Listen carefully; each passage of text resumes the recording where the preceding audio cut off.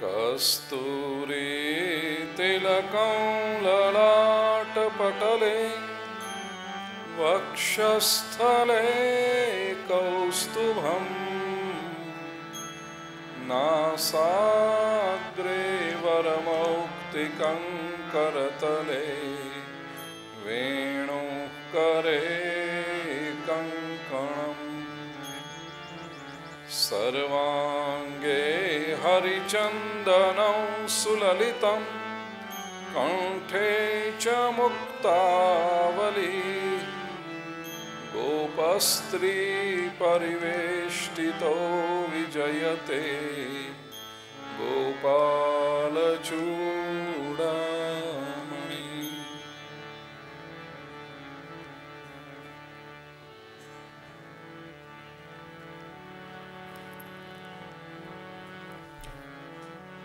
श्रीशुक उवाच।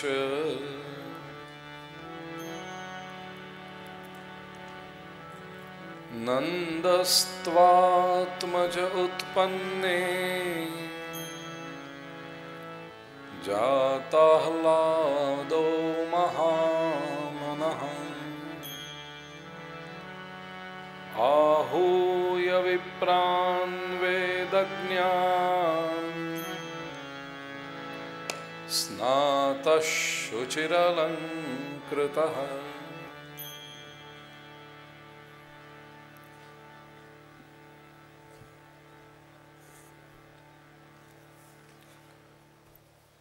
પૂર્ણ પરબ્રહ્મનું પ્રાગટ્ય થયું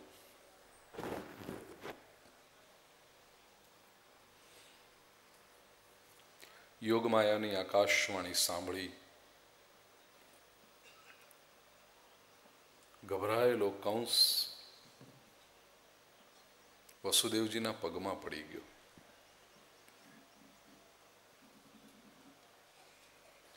માફી માગવા માંડ્યો. મેં તમને ખૂબ હેરાન કર્યા છે.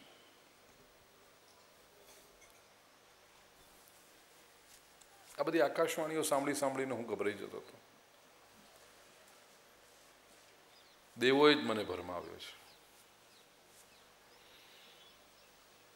મેં મારા હાથે મારા છ ભાણિયાઓને માર્યા. કદાચ એવું તો નહીં હોય કે એમનું અંજળ જેટલું હશે, હું તો માત્ર નિમિત્ત બની ગયો. આ દુનિયામાં કોણ કોને મારી શકે છે? આવું બધું તત્વજ્ઞાન ઊભું કરે છે કંસ હવે. વસુદેવજી જાણે છે કંસ બહુ છે ગણતરીબાજ વ્યક્તિ છે મેન્યુપ્યુલેટિવ માણસ છે. એમણે કહ્યું, કંસ આ બધું તે કર્યું ને એ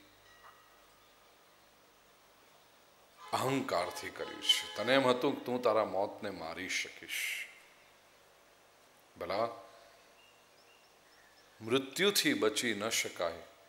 હા, મૃત્યુના ભયથી બચી શકાય છે. અને મૃત્યુના ભયથી જો બચવું હોય તો એકમાત્ર ઉપાય છે. ભગવાનની ભક્તિ.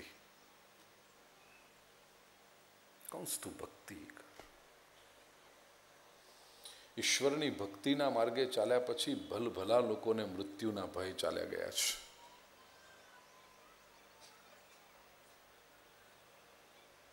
નામ નહીં આપું. અમારા બહુ નજીકના સ્વજન. આર્કિટેક્ટ પોતે. બહુ પ્રતિષ્ઠિત નામ.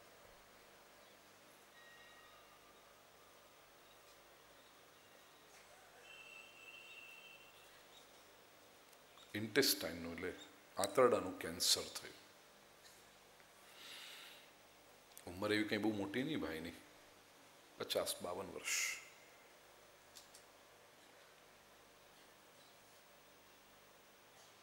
કોઈક રીતે ટીવી પર કંઈક આપણી કથા જોઈ અને એમના કોઈક સ્વજને આપણી કથા કરેલી અને એમણે આપણી કથાની કેસેટ આ ભાઈને આપી હતી.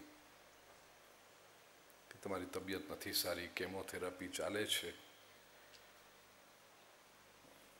આરામ કરવાનું ડૉક્ટરે કહ્યું છે તો આ કેસેટ સાંભળો, તમને સારું લાગશે. વર્ષો પહેલાંની આપણી નાસિકની કથાની કેસેટ એમને આપી હતી. એ વખત પેલી કેસેટનો જમાનો. હવે તો બધું સીડી ને એમપી થ્રી આવી ગયા. ડીવીડી ને ને કેસેટો ઓડિયો કેસેટ હકીકત કહું છું, મધુભાઈ. ઠાકોરજીની કૃપાથી એ કેસેટ સાંભળીને એટલું બધું એમને સારું લાગ્યું. જીવન પ્રત્યેનો આખો અભિગમ બદલાઈ ગયો. અને યોગાનુયોગ એવો થયો કે પછી એ જ્યાં રહે મુંબઈમાં બરાબર સામે જ કોઈક હોલમાં આપણી કથા. જેનું આયોજન આપણા નિલેશભાઈએ કર્યું. બાર વર્ષ પહેલાંની વાત કરું છું. બાર કે પંદર વર્ષ પહેલાં. કંઈ કથાના આયોજક અત્યારે આપણા ટ્રસ્ટી છે. એટલો જૂની વાત છે. બોર્ડ માર્યું હશે, બોર્ડ. હોલની બહાર કે કથા છે. બિલ્ડિંગમાં જતા હો તમને વાંચ્યું બોર્ડ કે આમની તો હું કેસેટ સાંભળું છું. ત્યાં સુધી આપણો અંગત પરિચય નહીં. કેસેટ સાંભળતા હતા. વિનંતી કરવા આવ્યા કે આપ મારે ત્યાં પધરામણી કરશો. આજુબાજુવાળા કોઈ કે ના પાડી દીધી કે બાપજી પાસે સમય નથી, અનુકૂળતા નથી. જે ભાઈએ કથાનું આયોજન કર્યું હતું પહેલાં અને એમની જેમની કથાની કેસેટો એ સાંભળતા હતા, એ ભાઈ મને મળવા આવે. જરાક ઊંચી લાગવગ લગાડી. મને કે ભાઈ આવી રીતની એક પધરામણીની વાત હતી ને આજુબાજુના જે લોકોએ કોઈ ના પાડી છે નથી અનુકૂળતા, પણ જો ગમે ત્યાંથી સમય કાઢીને પાંચ મિનિટ માટે કે સામે જ છે, કથાનો આ હોલ ને સામેના બિલ્ડિંગમાં રહે છે ચોથે માળે. અને આવી વાત છે, એટલે પછી એમણે કહ્યું કે કેન્સરના દર્દી છે, તમારી કેસેટ સાંભળે છે, એના દ્વારા એક પોઝિટિવ એટીટ્યુડ ઊભો થયો છે જીવનમાં. અને એ તમારા દર્શન કરવા માગે છે. એ અહીંયા આવી શકે એમ નથી, કારણ કે કેમોથેરાપી ચાલે એટલે ડૉક્ટરો ના પાડે કે બહુ પબ્લિકમાં જવાનું નહીં જાહેરમાં જવાનું નહીં, તરત એમને ચેપ લાગી જાય. ના પાડવાનું કોઈ કારણ હતું જ નહીં મારે. આવી રીતની વસ્તુ હોય ને એક વ્યક્તિના જીવનનો પ્રશ્ન હોય. હું ચોક્કસ આવીશ. કયો? આંખમાં આંસુ સાથે વ્યક્તિ મને ભેટી પડ્યા છે. કે બાપજી, મૃત્યુ તો નક્કી છે. ટાઈમ બોમ્બ પર બેઠો છું કે ક્યારે ઈશ્વરનો બોલાવો આવી જાય કહેવાય નહીં. પણ જે ડર લાગતો હતો, ભાગવતની કથા સાંભળી જીવન પ્રત્યેનો અભિગમ બદલાઈ ગયો. હવે ડર રહ્યો નથી. હવે તૈયાર છું. પ્રભુને જ્યારે બોલાવવો હોય ત્યારે બોલાવી લે એ પછી તો લગભગ ચાર પાંચ વર્ષ જીવે. બહુ સારા આર્કિટેક્ટ. આપણી સંસ્થામાં એમણે ઘણી મદદ કરી. બેસતા વર્ષને દિવસે સવારે સાડા છ વાગ્યામાં એ વ્યક્તિ મારે ત્યાં પોતે ગાડી ડ્રાઈવ કરીને આવી જાય, પહેલાં પગે લાગવા માટે. તમને કદાચ ખ્યાલ આવી ગયો છે ભાવના કોની વાત કરું છું? મારે જે નજીકના લોકો છે બધાને બા ખબર યાદ આવી, મમ્મી.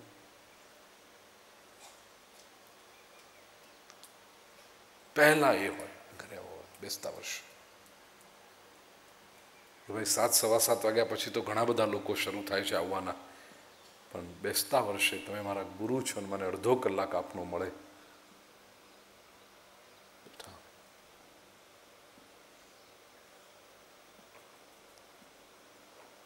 એટલી પ્રસન્નતાથી વિદાય લીધી આ દુનિયામાંથી એમણે. એમના બા હજી હું બા કહું છું. એટલી લાગણીને એટલો પ્રેમ રાખે. મારો કહેવાનો આશય, ભગવદ ભક્તિ એકમાત્ર રસ્તો છે મૃત્યુનો ભય દૂર કરો. મૃત્યુને કોઈ ટાળી શકતું નથી. કોઈ માણસ તમને એમ કહેતો હોય કે હું તમારા મોતને ટાળી દઈશ તો સમજી ચાલો એ માણસ તમને છેતરી રહ્યો છે. એના છેતરપિંડીમાં આવતા નહીં, તમે એના શિકાર નહીં બનતા. મૃત્યુની તો જે ક્ષણ નિશ્ચિત હશે એ જ થશે. કોઈ આગળ પણ નથી લઈ આવતું. કોઈ કે હું તને હમણાં મારી નાખું કે કરી જો, પ્રયત્ન કર, માર. અગર વો ક્ષણ નહીં હોગી તો કોઈ તુમ્હે બાંકા બાલ નહીં કર શકતા તમારા. અને ક્ષણ જે હશે, કોઈ એને પાછી નહીં ઠેલી શકે. ભગવાન સ્વયં જ્યારે અવતાર લઈને આવ્યા છે આ પૃથ્વી પર, વામન, રામ, કૃષ્ણ સ્વરૂપે, ત્યારે એમને આ દુનિયામાંથી વિદાય લેવી પડી છે. ભગવાન શ્રી રામચંદ્રજીએ બી સરયુગમન કર્યું છે. ભગવાન શ્રી કૃષ્ણ પણ જરા પારધીના બાણથી વિંધાયા છે. એ જગતનો ધણી આ જગતમાં આવે તોય એને જગત છોડીને જવું પડે, તો તમે ને હું કઈ વાડીના મૂળા? અમે કંઈક ના, અમે તો બેહી જ રહીએ, બેહી જ રહીએ. કોણ ભાઈ આપ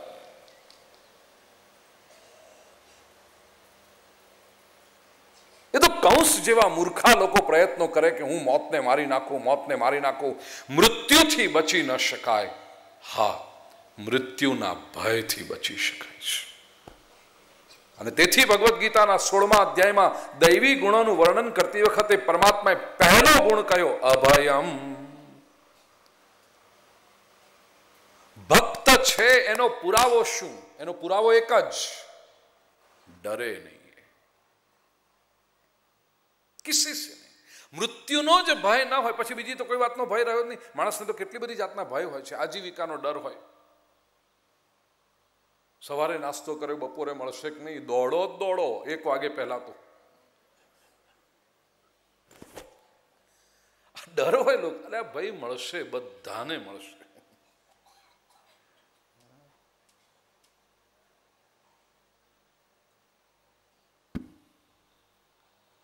આજીવિકાનો ડર લોકોને હોય છે. સ્ટેટસનો ડર હોય છે. સમાજમાં એક પ્રતિષ્ઠા મળે ને પછી ડર લાગે. આ પ્રતિષ્ઠા જતી રહેશે તો. સંભાવિત ચાકીર્તિર મરણાદ અતિરિચ્યતે. ડર લાગે માણસ ફિયર ઓફ પબ્લિક ઓપિનિયન બહુ મોટો ડર છે. લોકો મારા વિશે શું કહેશે? તમને ખબર છે? ફેશન ઇન્ડસ્ટ્રી શેના પર ઊભી છે? ફેશનનું કારણ શું? તમને સ્વાભાવિક રીતે એમ લાગશે, ફેશનનું કારણ છે માણસનો શોખ. ખોટી વાત છે. ફેશનનું કારણ માણસનો શોખ નથી, ફેશનનું મૂળ કારણ છે પબ્લિક ઓપિનિયનનો ડર. જરા તમે હજી ઊંડાણમાં જાઓ.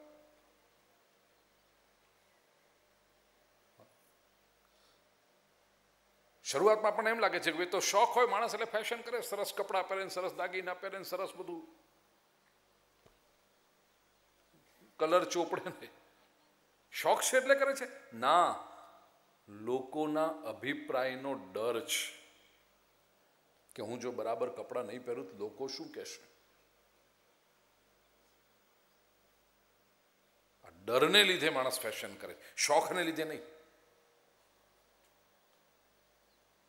કારણ કે જો શોખને લીધે કરતો હોય તો એકલા કરો ને રૂમમાં બેસીને કર્યા કરો. રંગને બધું ચોપડી ચોપડી લૂછી નાખો. શોખ જ છે ને તમને. It's if it is your hobby enjoy yourself સરસ મજાના કપડાં સારા સારા પહેરીને આપણે કોઈ દીકરીને, કોઈ બેનને સરસમાં સરસ કપડાં પહેરાવીએ. બેટા, તારું નામ ભૂલી ગયું ઉર, દીકરા. ઉર્વીને? ઉર્વીને આપણે સારામાં સારા કપડાં પહેરાવી એકદમ ફેશનેબલ, ડિઝાઇનર સ્ટફ. પણ એને કહેવાનું તું રૂમમાં એકલી જ હોય ને તારે પહેરીને પછી અરીસામાં જોઈને કાઢી નાખવાનું. મજા આવે બેટા? એની મજા ક્યારે આવે? લોકો જુએ, બે માણસો વખાણ કરે, તો મજા આવે. तो शेना माटे जो शौक ने खातर हो तो एक रूम में पेरिन काट जाओ मज़ा आवी होत के नहीं शौक तो पूरा हो गया आपका वहाँ पर नहीं अल्टीमेटली छे लोको सुकेश डर छे फियर ऑफ़ पब्लिक ओपिनियन તેથી મશ્કરીમાં ઘણી વખત કહું કે આ બધા વાઘા ચઢાવો છો ને તમે, એ તમારા માટે લગ્નના રિસેપ્શનોમાં પાર્ટીઓમાં અને સમારંભોમાં જઈ જઈને જે ઠઠારા કરીને જાઓ છો, એ ઠઠારા તમારા માટે નથી, લોકો માટે છે. તમારા માટે શું છે? ઘેર જઈને પછી એ ઠઠારો કાઢીને જે ચાર દાડાનો ધોયા વગરનો ગાઉન પહેરો છો ને એ તમારા માટે છે.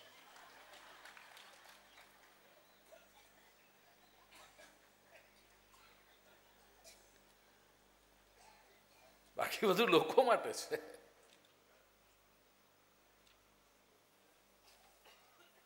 ડર છે લોકો શું કહેશે? છેવટનો ડર છે મૃત્યુ. જેણે ભગવાનની ભક્તિ કરી, એને કોઈ પ્રકારનો ભય રહેતો નથી. આજીવિકાનો ડર બિલકુલ ન રહે. જબ દંત ન થે, તબ દૂધ દિયા. અબ દંત દિયે તો અન્ન ન દે. ભોજન નહીં આપે પ્રભુ મને? યાદ કર્યું હતું ને મીરાબાઈનું ભજન? રામ રાખે તેમ રહીએ ઓધવજી રામ રાખે તેમ રહીએ અમે તો ચિઠ્ઠીના ચાકર છીએ. કોક દી ખાવાને શીરો પૂરી તો કોક દી ભૂખ્યાય રહીએ. શું ફરક પડે છે? મારો ઈશ્વર છે. તેથી આજીવિકાનો ડર રહેતો નથી. ભક્તિ કર. દુનિયાની બીજી કોઈ શક્તિ નથી તમારો આ ડર દૂર કરી શકે. શોધજો વિચાર કરજો આના ઉપર. दुनिया की कोई ताकत नहीं तुम्हारे इस डर को दूर कर सके केवल और केवल भक्ति के લોકો શું કહેશે એનો ડર ભક્તિ કરો આપોઆપ નીકળી જશે લોકો શું કહે છે એ મહત્વનું નથી મારો ભગવાન શું કહે છે એ મહત્વનું છે મારો ઈશ્વર શું કહે છે ને ઈશ્વર અંદર બેઠો છે. અંદરનો અવાજ મારો. લોકોને જે કહેવું એ કહેવા દે શું ફરક પડે છે? ફરીથી મીરાને યાદ કરો. લોક લાજ છાંડી મીરા ચલી. હજી આજે પણ તમે જુઓ ને તો સંપત્તિ હોવા છતાં મર્યાદા હોય એવો એક પ્રદેશ ભારતમાં છે. અને હું તો જાહેરમાં કહું છું રાજસ્થાન છે. રાજસ્થાનમાં, રાજસ્થાની પરિવારોમાં મહેનત ખૂબ કરે, બુદ્ધિ પણ સારી, ભગવાને સંપત્તિ પણ આપી છે. પણ હજી મર્યાદા એટલીસ્ટ અમને તો દેખાય છે ભાઈ, પછીનું તમે જાણો. હમે તો દેખાઈ પડતી હૈ. મર્યાદા હે.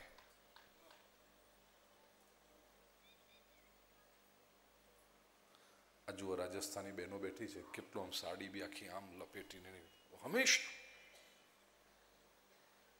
उनके घर पे भी हम जाएं મર્યાદા વડીલો હોય ત્યાં સુધી છોકરાઓ બહુ બોલે નહીં પાસઠ વર્ષના વડીલ પોતે હોય પણ એમના પંચ્યાસી વર્ષના પિતાજી બેઠા હોય ને तो सिक्सटी फाइव की उम्र के जो होंगे हमें ए पे पोते वडील જ થયા ને वो नहीं बोलेंगे बाबूजी हैं बाबूजी મર્યાદા બહેનોની મર્યાદા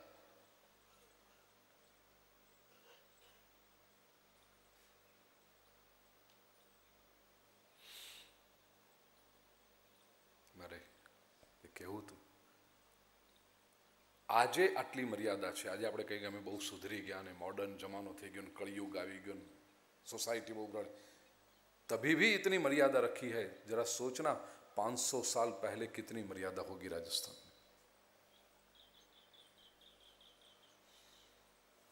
અને એમાંય રાજઘરાના મેવાડનું રોયલ ફેમિલી. કેટલી મર્યાદા રાજસ્થાનમાં કથા હોય ને લોકો? પધારો સા જી હુઝુર. હાન દાતા. લોકો વાત જ કરે એવી રીતે.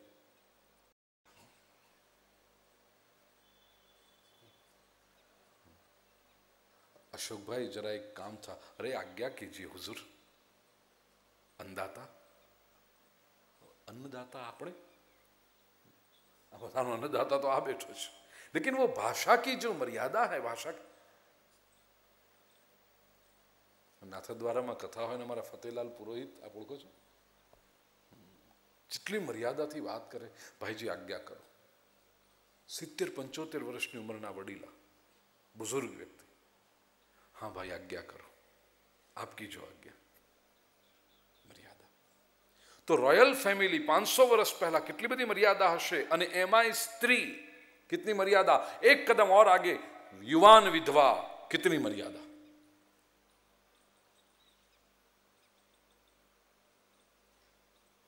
પાંચસો વર્ષ પહેલાના રાજસ્થાનના રોયલ ફેમિલીમાં યુવાન વિધવા कितने बंधन होंगे मीरा को लोक लाज कितनी लेकिन जब कन्हैया की भक्ति हुई गिरधर से नाता बांधा कोई डर न रहा साधुओं के संग मीरा चली उद्धता ही નથી આ ગલત અર્થ મત કરના इसका ઉદ્ધતાઈ નથી સ્વચ્છંદતા નથી પણ એક નિર્ભયતા છે હું જે કરું છું એ સાચું છે હું સાચા માર્ગે છું હું પ્રભુના માર્ગે હું प्रामाणिक છું अब लोगों को जो कहना हो वो उनकी समस्या है मेरी समस्या नहीं लोगों को जो सोचना है सोचें लोगों को जो कहना है कहें वो उनकी समस्या है मेरी नहीं अभयत्व और अंत में मृत्यु का भी भय नहीं પાંચ વાર, પાંચ વર્ષનો આ બાળક ધ્રુવ જ્યારે તપશ્ચર્યા કરવા નીકળે છે જંગલની અંદર, શું લાગે તમને? ડર નહીં લાગતો હોય? પાંચ વર્ષનું છોકરું એક ગરોળી આવે ને તો એ રાડ પાડે. ચલા હે જંગલ મેં. અને આટલા હજારો વર્ષો પહેલાનું એ મધુવન યમુના કે તટ પર બ્રજ કી ભૂમિ મેં. अब जरा ब्रजन साहित्य वाँचो हजी तो बसो पाँच सौ वर्ष पहला एटली घनघोर जाड़ी थी व्रज में दो सौ पाँच सौ वर्ष पहले की बात चैतन्य महाप्रभु जी और महाप्रभु जी वल्लभाचार्य जी ने जब ब्रज के तीर्थ प्रगट किए वो वर्णन भी आप पढ़ो शोधवा पड़ा छे क्या बता कई लीलाओं स्थान था क्या कालिय घाट कयो केशी घाट कयो दान लीला क्या थी સંકેતવન કયું? ઘનઘોર જંગલ.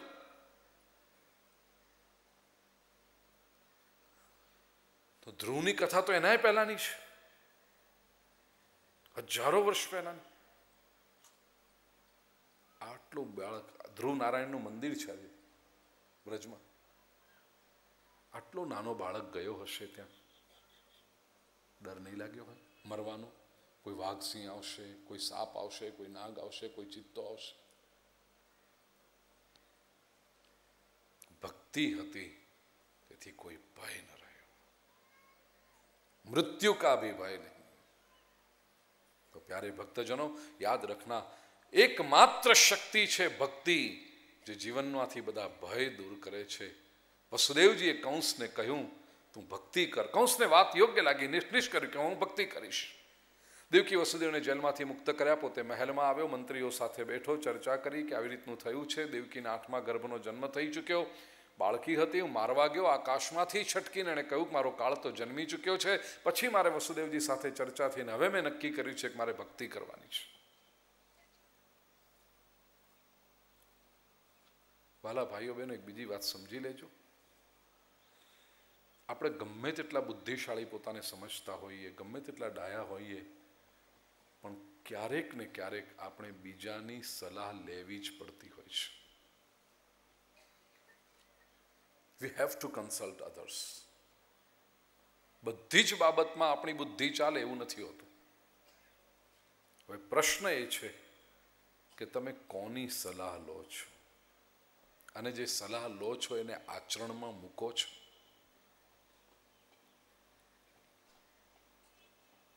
સારા માણસની સલાહ લેશો તો તમને સન્માર્ગે લઈ જશે અને ખોટા માણસની સલાહમાં તમે આવી ગયા તો એ ભટકાવી મૂકશે જીવનમાં નિષ્ફળતાઓ શરૂ થશે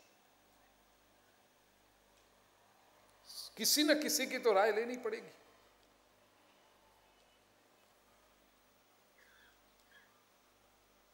સફળ થયેલા લોકોનો એક ઇન્ટરવ્યૂ મેં વાંચ્યો એક સર્વે કરવામાં આવ્યો અમેરિકામાં કે અલગ અલગ ક્ષેત્રોમાં જે લોકો સફળ થયા હોય બિઝનેસમાં કોઈ પોલિટિક્સમાં કોઈ સમાજ સેવામાં કોઈ સ્પોર્ટ્સમાં કોઈ આર્ટ એટલે કલામાં ફિલ્મ નાટકમાં, ધર્મના ક્ષેત્રમાં અલગ અલગ ક્ષેત્રોમાં જે લોકો સફળ થયા હોય એટલે ઇન્ટરવ્યૂ લેવામાં આવે. અને સર્વે કર્યો. પૂછ્યું એમને કે કયા પરિબળોએ મહત્વનો ભાગ ભજવ્યો તમારી સફળતા માટે? કોન્ટ્રીબ્યુટિંગ ફેક્ટર્સ કયા? અલગ અલગ કારણ આપ્યા. એમાં ત્રણ ચાર કારણ મહત્વના થઈને બહાર કે બધાના જીવનમાં આ કારણો તો હતા જ. સફળ થવા માટે.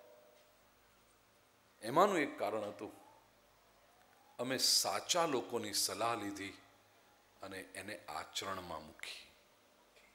સફળતા કે લીએ અત્યંત આવશ્યક. We consulted the right people સમજો તમારે એક મોટી ફેક્ટરી નાખવી છે. બિઝનેસમેન છો તમે ફેક્ટરી નાખવી છે. કરોડોનું ઇન્વેસ્ટમેન્ટ થાય. સ્વાભાવિક છે, નવી નવી લાઈન શરૂ કરો એટલે તમને અનુભવ ન હોય આખી ફેક્ટરી કેવી રીતે નાખવાની, શું કરવું, બધી વસ્તુનું. કોકને તો પૂછવું પડશે ને. કોને પૂછવા જશો? ગલીના નાકે પાનવાળાની દુકાને ઊભા ઊભા પાન ચાવતા ચાવતા પડોશીને પૂછવાનું. વિચાર કરીએ છીએ આપણે ફેક્ટરી નાખીએ. પેલો કે, નાખો નાખો. નાખશો? ખાડામાં જ પડવાનું થાય બીજું કંઈ પછી વારી પડોશીને આ તમે તમારે નાખો સારું જ નાખો નાખો. પણ એ વિષયના જે કન્સલ્ટન્ટ્સ હોય એડવાઇઝર્સ હોય, એમાં પણ જે સારામાં સારા એડવાઇઝર્સ હોય, શક્ય છે એની અપોઇન્ટમેન્ટ બે મહિના પછી નહીં મળે. તમે એને ફોન કરો ભાઈ, તમારા માલિકને બોસને મળવું છે આ કન્સલ્ટન્ટ છે. તો કે ભણો તો અમારા માલિક ફોરેન ગયા છે. બે મહિના પછી આવશે. પોસિબલ છે. રાહ જોવી પડે બે મહિના. એની ફી ચૂકવવી પડે. એવો કેલિબર માણો માણસ હોય એક્સપર્ટ હોય, તો એની ફી પણ હોય થોડીક. પાડોશી મફતમાં સલાહ આપે છે. લે ભાઈ. પેલાની ફી ચૂકવવી પડે. પણ એ બધું જ વર્થ છે. બે મહિના રાહ જોવી ચાલે, એની ફી ચૂકવવી પોસાય. પણ પછી એ જે સલાહ આપે ને એના ઉપર આપણે ચાલીએ, તો ફેક્ટરી સરસ રીતે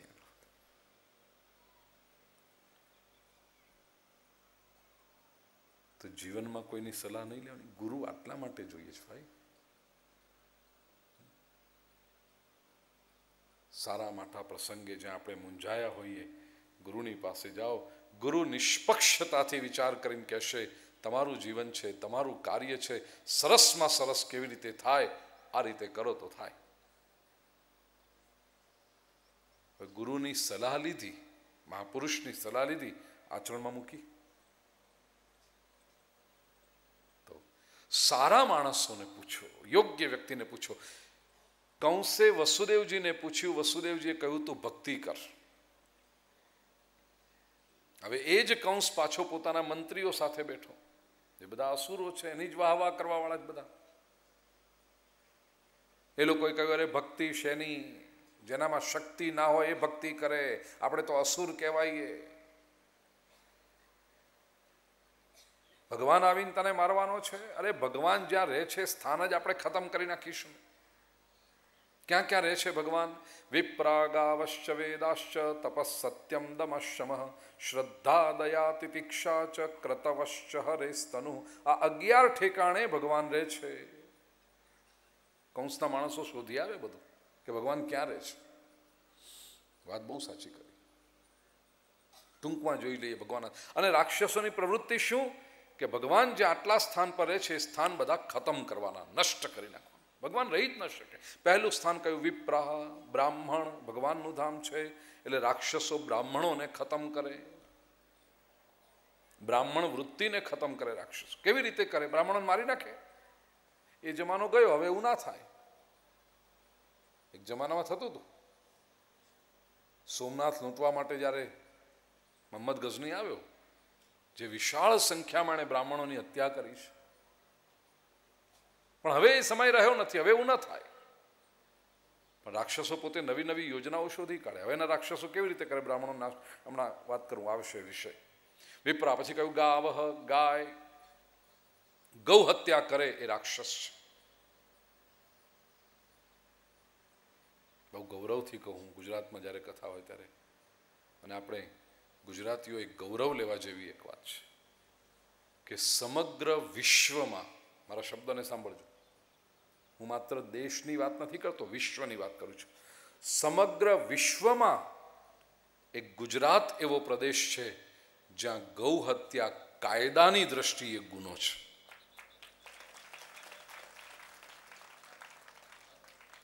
દુનિયામાં ક્યાંય નથી. આપણે ગુજરાતીઓ એક ગૌરવ લેવા જેવી વાત છે. ગૌ હત્યા કરે એ રાક્ષસો છે. દૂધ આપનારી ગાય એ તો માં છે જ, એની પૂજા કરવી જ જોઈએ, એને તો ન જ મરાય. અને એ તો આપણે સૌ જાણીએ છીએ તેની બહુ ચર્ચા મારે નથી કરવી, પણ એનાથી આગળ મારે વાત કરવી છે. સમાધિ ભાષા ભાગવતની ગાય એ પ્રતીક છે પરિવાર ભાવનાનો. રાક્ષસો પરિવારો તોડે. છોકરાઓને મા બાપથી દૂર કરે મા બાપને છોકરાઓથી દૂર કરે. દીકરો કે દીકરી સોળ, સત્તર, અઢાર વર્ષના થાય ને કોક ને કોક રાક્ષસ ભટકાઈ જાય એમ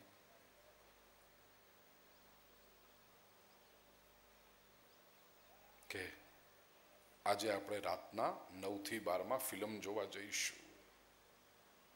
પછી હોટલમાં જઈને ખાઈશું, પીશું, નાચીશું, ગાઈશું, ધમાલ કરીશું. વી વિલ હેવ ફન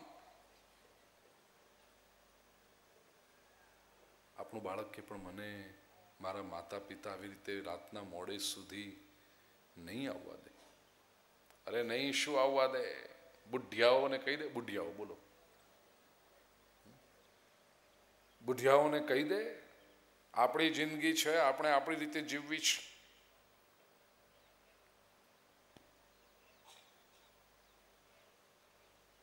હવે એક નવું દૂષણ ઊભું થયું છે. આ પંદર, સોળ, સત્તર વર્ષની ઉંમરે તો બોયફ્રેન્ડો થઈ જાય ને ગર્લફ્રેન્ડો થઈ જાય. સમાજમાંથી જે હું સાંભળું છું, પ્રેમમાં પડી ગયા હોય આ ઉંમરે તો. ઊંધે માથે પડ્યા હોય પાછું. એટલે પંદર ને સોળ વર્ષે તો આ ધંધા કરાય.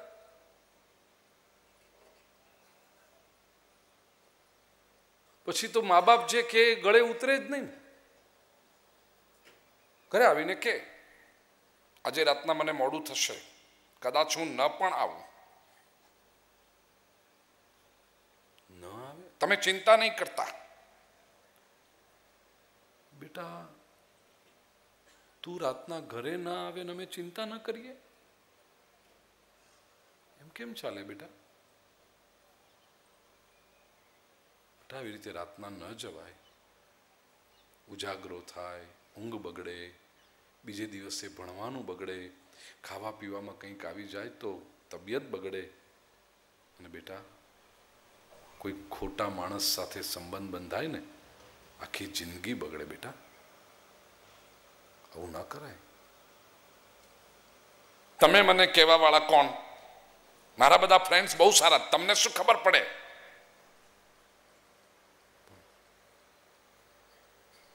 આજકાલના છોકરા મા બાપને આવું કહેતા થઈ ગયા. તમને શું ખબર પડે? મારા બધા ફ્રેન્ડ્સ બહુ સારા છે. તેરથી ત્રીસ વર્ષની ઉંમર એવી છે કે એમાં મા બાપ જે કહે એ ગળે ઉતરતું જ નથી. ફ્રેન્ડ કે ને, એ જ બધું ગળે ઉતરે છે. દોસ્તારો ને બેનપણીઓ બસ. ત્રીસ વર્ષ પછી કંઈક બુદ્ધિ આવે જ, પણ એ તો it's too late you have miss the golden decade of your life તમને શું ખબર મારા ફ્રેન્ડ્સ મારા. હકીકત છે ને હવે જેમની ઉંમર તેરથી ત્રીસની વચ્ચે હશે એમને ખબર. અથવા તો જેના ઘરમાં તેરથી ત્રીસવાળા હશે ને તો પાક્કી ખબર. પિયર પ્રેશર ફ્રેન્ડ્સ ફ્રેન્ડ્સ ફ્રેન્ડ્સ અરે બેટા, માંડ્યું જ શું આ ફ્રેન્ડ્સ એટલે?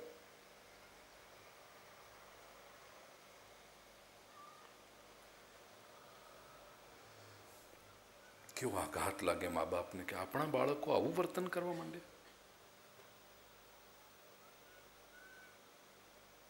આપણને છેતર ત્યારે અત્યાર સુધી આ લોકો. એમને જે ફાવતું હતું એ જ કરતા રહે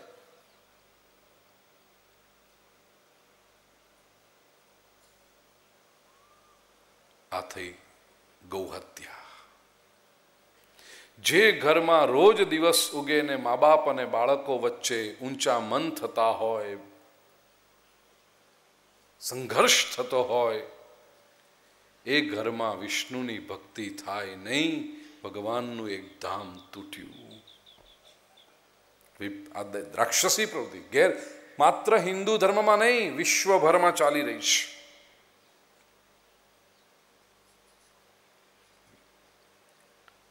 વિપ્રાગાવશ્ચ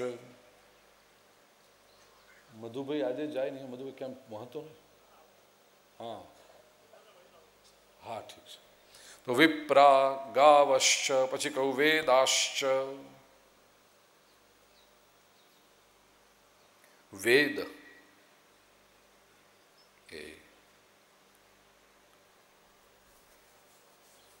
ભગવાનની પ્રવૃત્તિ છે. ભગવાનનું ધામ છે વેદ. ભગવાન રહે છે વેદમાં. રાક્ષસો વેદનો નાશ કરે. કેવી રીતે? કોઈ બ્રાહ્મણનો દીકરો વેદ ભણતો બેઠો હોય ને, સંસ્કૃત પાઠશાળામાં વેદનું અધ્યયન કરતો ત્યાં રાક્ષસ પહોંચી જાય. આ શું કરો છો? વેદ ભણો છો? વેદ વાંચીને શું થશે? નોકરી તો કોઈ આપશે નહીં.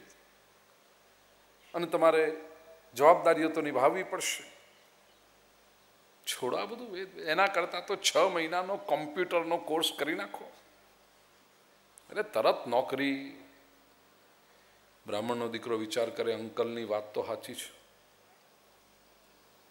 હું સાત વર્ષ કે દસ વર્ષ સુધી વેદનું અધ્યયન કર્યું, શાસ્ત્રી, કાં તો આચાર્યની ડિગ્રી મેળવું, પછી કરવાનું શું? નોકરી તો કોઈ આપે નહીં. વેદના જ્ઞાતાને કર્મકાંડ કરાવવું પડે. ધોત્યુન જબ્બો પહેરી યજમાનને ત્યાં જવાનું, પૂજા કરાવવાની, સ્વસ્તિના ઈંદડો, ચોખા ખાઈ ગયો, મીંદડો. અને પૂજા પૂરી થાય પછી યજમાન જે દક્ષિણા આપે, એ લઈને જય શ્રી કૃષ્ણ કરીને ઘેર આવવા ઘેર આવીને કવર ખોલીને જોઈએ તો અંદર એકાવન રૂપિયા હોય. બ્રાહ્મણ કે આખી સત્યનારાયણની કથા કરાવીને એકાવન રૂપિયા? તો કે, હા મહારાજ, અમારે ત્યાં તો નિયમ છે, અમારા દાદાના વખતથી ચાલ્યું આવે છે. અમારા દાદાએ જ્યારે સત્યનારાયણની કથા કરતા ત્યારે એકાવન આપતા, અરે આ તારા દાદાને ગયા પછી ગંગામાં કેટલું પાણી જતું રહ્યું? હજી તારા એકાવન ના બદલાયા?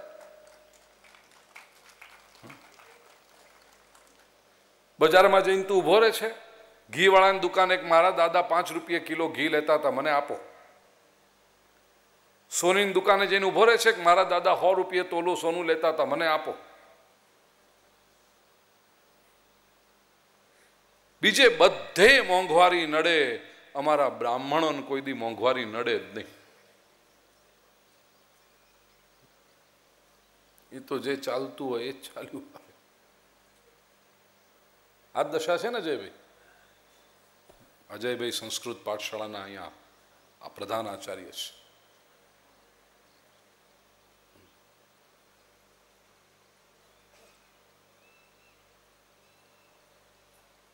શું હાલત કરી નાખી સમાજે બ્રાહ્મણોની? એક વાત યાદ રાખજો, જે સમાજ વિદ્વાન, તેજસ્વી બ્રાહ્મણોનું ગૌરવ ટકાવી શકતો નથી, એ સમાજ પોતે ક્યારેય પ્રગતિ કરી શકતો નથી. બ્રાહ્મણો પોતે વેદનું અધ્યયન કરે, શાસ્ત્ર સંપાદન કરે અને બીજી તરફ સમાજનું કર્તવ્ય છે એ બ્રાહ્મણોનું સન્માન કરે. બ્રાહ્મણ સરસમાં સરસ રીતે રહેવો જોઈએ. અમારા ગોર બાપા બચારા બહુ હારા ફાટેલું ધોતિયું પહેર્યું હોય, ફાટેલો ચપ્પો પહેર્યો હોય, ચાર દાડાની દાડી વધી હોય, અને અમે કહીએ એટલે સીધું લેવા આવતા રે બચારા. બચ્ચારો બનાવી દીધો બ્રાહ્મણને. બ્રાહ્મણ ક્યારે બિચારો ન હોય. વેદની રક્ષા કરી છે, સંસ્કૃતિની રક્ષા કરી છે, ધર્મની રક્ષા કરી છે, મંદિરોની રક્ષા કરી છે, શાસ્ત્રોની રક્ષા કરી છે, એવો બ્રાહ્મણ વિચારો હોય? ક્યારેય નહીં. બંને તરફ બ્રાહ્મણો તેજસ્વીતાથી વણે, નિષ્કારણેન બ્રાહ્મણેન શરંગો વેદો ધ્યેયશ્ચ જ્ઞેયશ્ચ. શાસ્ત્રકાર કહે છે કે બ્રાહ્મણ ષડંગ સહિત વેદનો અભ્યાસ કરે. ભૂદેવોની પણ કંઈક ભૂલ છે? મારા ભૂદેવો સાથે બેઠો હું ત્યારે એમના કાન પકડું. કે પુરુષ સુપ્તથી આગળ ભણ્યા જ નહીં ષોડશોપચારથી. એ ષોડશોપચાર આવડે એટલે ચાલો હવે વરુણી મળશે. એમાં રહી ગયા.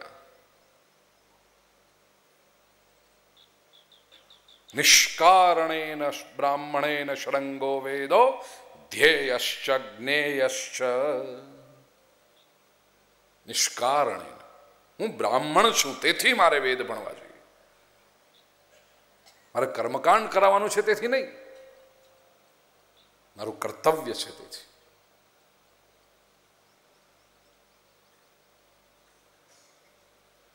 એ રીતે જો કરવામાં આવે. સમાજ જો ગૌરવ જાળવતા શીખે બ્રાહ્મણોનું આદર જો નહીં કરો બ્રાહ્મણનો, કેમ ચાલશે?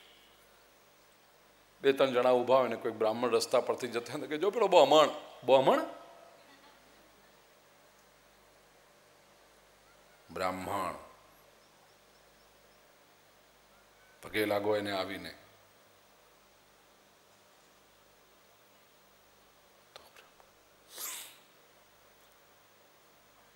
વિપ્રાગાવશ્ય વેદાશ્ચ વેદની રક્ષા કરે.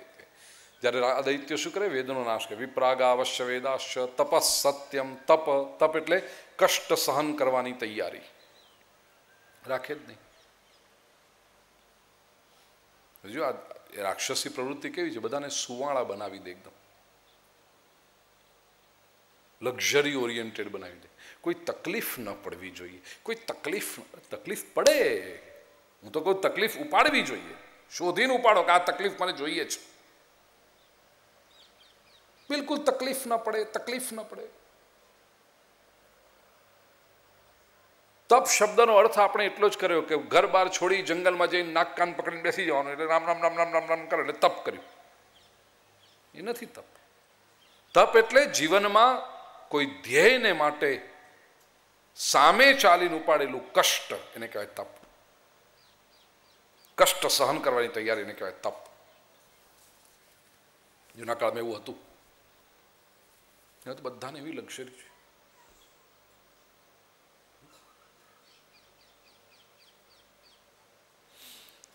સિત્તેર પંચોતેરની ઉપરની ઉંમર હોય ને એ જમાનામાં ગ્રેજ્યુએટ થયેલા કે એન્જિનિયર કે ડૉક્ટર થયેલા કોઈ વડીલો અહીંયા બેઠા છે ત્યારે એવું કોઈ?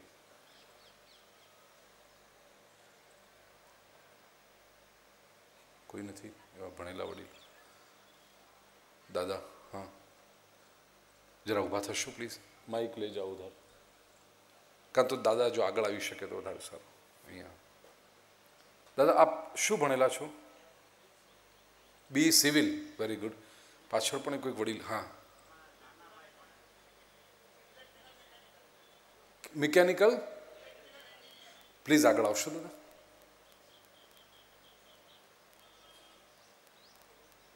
અને આપ આપ ભાઈ? મિકેનિકલ એન્જિનિયર વેરી ગુડ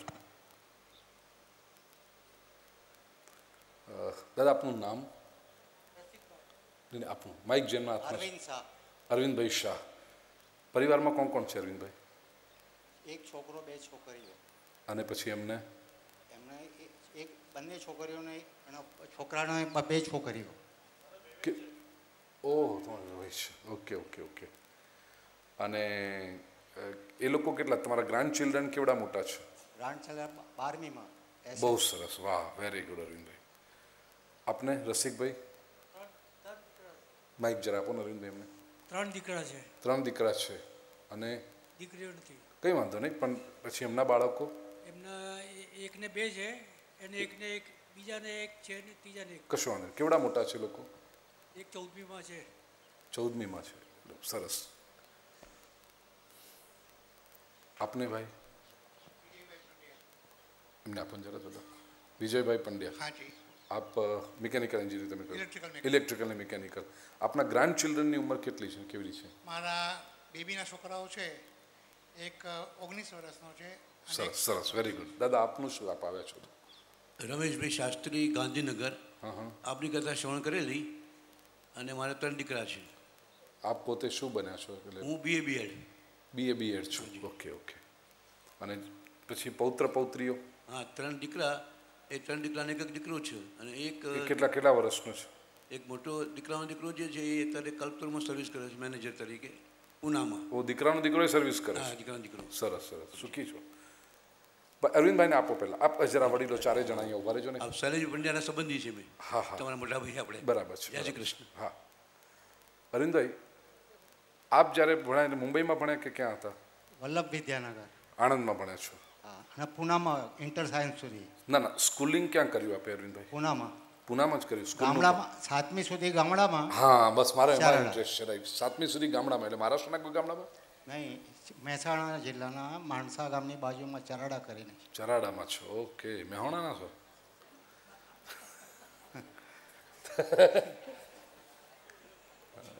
મારી બાજુના છો તમે. ચરાડામાં કર્યું અરવિંદભાઈ એ વખતે તમારી સ્કૂલ બેગ કેવી હતી? કેટલી હતી? School life school bag. ચોપડા લઈ જવાની હોય ને બેગ? ખાલી પાટી અને પેન ચોથા સુધી. બરાબર છે. અને ચોથાથી સાતમામાં એકથી ત્રણ ચોપડીઓ હતી. એક ઇતિહાસ એક ગુજરાતી. ના ના બરાબર બધું બરાબર છે. એટલે પણ સ્કૂલ બેગ તો હતી જ નહીં પાટી પેન લઈને જતા આપણે. બરાબર છે? ચોથી સુધી. અને તમારા દીકરાનો દીકરાનું નામ કઈ રાખવાનું છે? મોટો દીકરો છે ઓગણીસ વર્ષનું જે કહ્યું તમે દીકરી કે બારમીમાં છે. બારમીમાં છે એનું શું નામ? ઈશિતા નામ છે. ઈશિતા. એટલે આપણી દીકરી ને ભાઈ ઓકે. એ તો ગઈ ને ઈશિતા તો. ઓકે. હવે હું મને ખ્યાલ છે હા. ઈશિતાને કેટલી સ્કૂલ બેગો હતી અરવિંદભાઈ? એને અત્યારે સ્કૂલ બેગમાં લગભગ વીસ ચોપડીઓ લઈને રોજ ચોપડીઓ કેટલી નહીં થેલો આપણે તો ચોપડીઓ જવા દો ને અંદર બધી. થેલો ચાર ફૂટ બાય આપણા બે ફૂટ બાય બરાબર છે અને કેટલા નવા નવા આવે ને દર વખતે? બે ત્રણ વર્ષે આવે. આવે. તો બહુ સારું કહેવાય સીધા ડાઈ કહેવાય. બે ત્રણ વર્ષે એક સ્કૂલ બેગ લેતી હોય તો. ભાઈ આપો રસિકભાઈ તમારી સ્કૂલ બેગ કેવડી? માઇક જરા નજીક રાખો ને. બે ચાર ચોપડીઓ લઈ જઈએ એટલે હાથમાં જ લઈ જઈએ. પ્લાસ્ટિક પ્લાસ્ટિક એ નહોતી વખત. લુગડાની થેલી હતી બરાબર? કપડાની થેલી. અને તમારા પછી પૌત્રને સ્કૂલ બેગ પૌત્ર તો બહુ મોટી બેગ છે અત્યારે. હા કેવી નવી નવી આવો દર છ મહિને હા કપડાની થીલી હતી અને કાશ્મીર ટોપી ફરજિયાત પહેરવાની. બરાબર છે. અહીં ભણતા ત્યારે. કરેક્ટ પગમાં જૂતા હોય નહીં. હા હા હા. અત્યારે દીકરાનો દીકરો જાય છે ગાડીમાં જાય છે. બરાબર. ચાલતા. એક મિનિટ તમે જરા આગળ પડતું બહુ બોલો હમણાં મને પૂછવા દો ને પછી બોલો ને તમે. એમને આપો. જાનીભાઈ. હાજી હા. એ લોકો બે બેગ રાખે છે ટ્યુશનની બેગ અલગ અને ભણવાની ભેગા હા રાઈટ અચ્છા દાદા આપણે જ્યારે ભણતા તમે તમે તો મારા કરતાં વડીલ છો એટલે અમારે ચંપલ કેટલા હતા તમારી પાસે? એક જ. એક જોડી ચંપલને કેટલું ચાલતા? એક ખવાતેલો ના ના. ચાલતો? ચપ હું પહેલા પાર્લામાં ભણ્યો છું કોકલીભાઈ સ્કૂલમાં ચપ્પલ કેટલું ચાલતા? કેટલા વર્ષ ચંપલ? દોઢ વર્ષ વર્ષ બે વર્ષ ત્રણ વર્ષ દોઢ બે વર્ષ અને તમારા પૌત્રના ચંપલ? છ જોડી.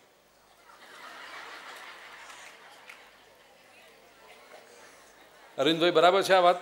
ઈશિતા પાસે કેટલા જોડી છે સેન્ડલ? હા અરવિંદભાઈ કહે છે અમારી એક જોડી ત્રણ વર્ષ ચાલે. અને ઈશિતા પાસે કેટલી જોડી? જેટલા ડ્રેસ એટલી જોડી હશે. નહીં ત્રણથી ચાર. ત્રણથી એ તો મધુભાઈ છે એટલે આ ચોઈસ કરે છે. અને જયંતિ જયંતિભાઈ ને તમે? ના ના આ આ ભાઈ આ રમેશભાઈ. એમણે તો કીધું કે છોકરો ગાડીમાં જાય છે. અરવિંદભાઈ આપ જ્યારે ભણતા ત્યારે પેન કેટલી રાખતા? એક જ પેન. બરાબર છે? અને ઈશિતા પાસે? લગભગ ડઝન. ડઝન. દાદા બરાબર છે આ બધી વાતો? દરેકને લાગુ પડે છે. ચરાડામાં જ્યારે ભણ્યા અરવિંદભાઈ આપ કદાચ એ વખતે ઇલેક્ટ્રિસિટી નહીં હોય. ઇલેક્ટ્રિસિટી આવેલી પણ સ્ટ્રીટ લાઇટ તરીકે એનો ઉપયોગ થતો એટલે વાંચવા માટે કદાચ એના નીચે કાં નહીં, તો ઘરમાં ઘરમાં હતી નહીં. સ્ટ્રીટ લાઇટનો માંથી વાયર ખેંચી અને ઘરમાં કોક વખતે વાંચવું હોય ત્યારે લેતા હતા. લેતા હતા. નહીં તો દીવાના પ્રકાશમાં કે દીવાના પ્રકાશ મને લાગે છે તમે રમેશભાઈ એવી રીતે કર્યું છે. દીવાના પ્રકાશમાં કે રંડિયા ફાનસના પ્રકાશમાં. બરાબર છે ને? અને આપણા છોકરાઓને અલગ રૂમ એમાં એસી અને પાછું ઓમ બલ્બ હોય. ત્યારે તો ભણાવે ઈશિતા તો ડાઈ જ, મને ખબર છે ભણવામાં. કોમ્પ્યુટર કરે છે ને?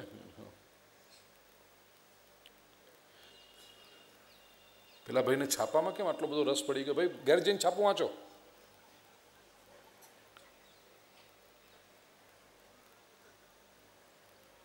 ત્યારે હવે આ વાત એક અરવિંદભાઈની કે એક રસિકભાઈની કે એક રમેશભાઈની કાં તો, દાદા આપનું એક વિજયભાઈની નથી. આ તો પ્રતિનિધિ છે આપણા ચાર વડીલો. ઘરે ઘરની વાતો છે ભાઈ. ઘરે ઘરની. હું મારું બાળપણ યાદ કરું, બે વર્ષ હું ગામમાં રહેલું. સ્લીપર પહેરવાના હોય. અને સ્લીપર પેલી બ્લુ પટ્ટીવાળું આવે વી લખાડેલું અને એમાં નીચેથી તૂટી જાય. તો સીવડાવવાના એક તો મોચી ગામમાં અઠવાડિયે એકવાર આવતો હોય. રોજ ના આવે. અને એ કદાચ આવે તો એને આપવાના પૈસા ના હોય. કાંટો આવે ને બાવળનો, એ કાંટો અમે લગાડતા અને એવી રીતના સ્લીપર મેં પહેરેલા છે. અત્યારે તો હવે તાળીઓ જ પાડીએ ને આપણે. પણ એ જ્યારે પહેરતા હતા ત્યારે ખબર છે કેવા પહેરાતા હતા ઉત્તર ગુજરાતની ગરમી એટલી અરવિંદભાઈ કે તમે બપોરના સમયે સ્કૂલમાંથી આવતા હો તો એ સ્લીપર એ ગરમ થઈ ગયા હોય. એ રબર જે સ્લીપરનું એટલી ગરમી forty five degree temperature Ganpatbhai આપણે ઉત્તર ગુજરાતની. હા? કપડું બાંધીને પંચાવન ડિગ્રીની રીતનું. કપડું બાંધીને સ્લીપર પહેરવા પડે નહીતર પરસેવો એટલો થાય સ્લીપરમાં લસરી જઈએ નહીં તો સ્લીપરનું રબર સોફ્ટ થઈ ગયું હોય ને નાના હોઈએ ને આપણી જે કુમાળી ચામડી એ બળતી હોય. પણ બીજું ઓપ્શન નહીં ને. અદિદાસ ક્યાં શોધવા જઈએ? ભાને નહોતું કે શું હોય અદિદાસ ચામડાના બૂટ તો લક્ઝરી કહેવાય. જનોઈ આપીને પહેલી વખત બૂટ પહેરે ત્યારે તો આમ લાગે કે આપણા પગ છે.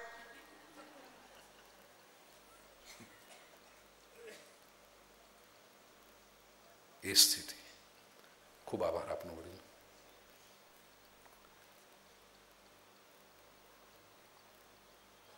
કહેવાનો આશય. પણ એક કષ્ટ સહન કરીને જો અરવિંદભાઈ એન્જિનિયર બની શકતા હોય રસિકભાઈ એન્જિનિયર બની શકતા હોય વિજયભાઈ એ કરી શકતા. અને આજની પેઢીને તમે આ કહો, તો આમ દાદાને તો ટેવ પડી આ બધી વાતો કરવાની. દાદા બધું આવું જ બોલે છે. એમને માન્યામાં ના આવે. आचरण की बात तो बड़ी दूर रही मान भी नहीं सकते वो लोग કષ્ટ સહન કરવાની તૈયારી નથી કોઈને કોઈ તકલીફ જોઈતી નથી તપ પ્રાધાન્યતા ચાલી ગઈ એક વસ્તુ યાદ રાખજો સુખાર્થી ન કુતો વિદ્યા વિદ્યાર્થી ન કુત સુખ જેને જીવનમાં વિદ્યા પ્રાપ્ત કરવી છે કંઈ પણ પ્રાપ્ત કરવું છે એને કષ્ટ તો સહન કરવું જ પડે કંસના માણસોએ કહ્યું, બસ અમે બધાને લક્ઝરી ઓરિએન્ટેડ બનાવી દઈશું, બસ. જલસા કરો, બસ લેર કરો જીવનમાં.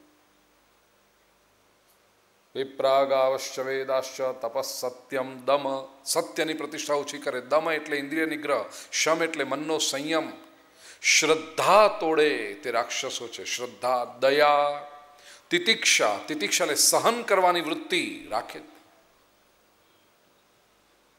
આથી ત્રીસ, પાંત્રીસ વર્ષ પહેલાં કોઈ કન્યા લગ્ન કરીને સાસરે જાય, ત્યારે મા એને શિખામણ આપે, બેટા, પારકાને પોતાના કરવાના છે, સહન કરતા શીખજે.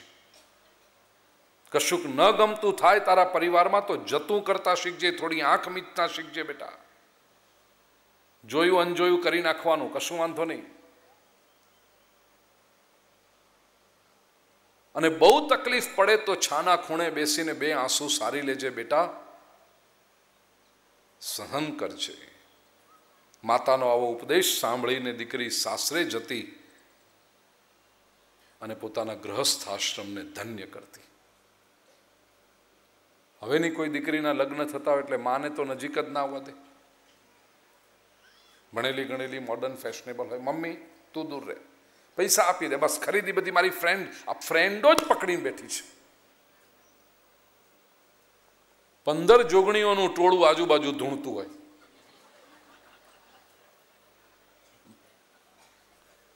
પડવા જ ના દે ને એને એકલીને કે મા પાસે જાય કે બે સારી વાતો સાંભળે વડીલોની. શોપિંગ બધું ફ્રેન્ડ્સ લગ્ન વખતે પણ તૈયાર થઈને કન્યા બેઠી ને પેલી પંદર જોગણીઓ ઘેરીને બેઠી હોય ને. જોજે, હા, ધ્યાન રાખજે. વિમેન્સ લિબરેશન ઇક્વોલિટી સહન નહીં કરવાનું કશું. તું એક વખત કોકનું સાંભળીશ ને પછી આખી જિંદગી તારા સાસરાવાળા તને સંભળાયા જ કરશે. આ તો દુનિયા જેવી છે, પોચું જોઈને જ આંગળી ઘાલે. એક વખત કોઈક બોલે એટલે એવો તરત તું સામો જવાબ આપી દેજે, એ હેપતાઈ જશે. ને એક વખતે ફણા કાઢી દીધી ને પછી કોઈ તારી સામે નહીં બોલે, નણંદ હોય તો નણંદને ધમકાઈ દેવાની, જેઠાણી હોય તો જેઠાણીને ધમકાઈ દેવાની. કાયદાનો ડર બતાવવાનો. કમ્પ્લેન કરીશ, આમ કરીશ. બધા કાયદા આપણી સ્ત્રીઓના ફેવરમાં છે. કોઈનું કશું સાંભળવાનું જ નહીં. બોલવા જાય તો બોલવા જ નહીં દેવાનો. ઈંટ કા જવાબ. આ ધંધા કરશો?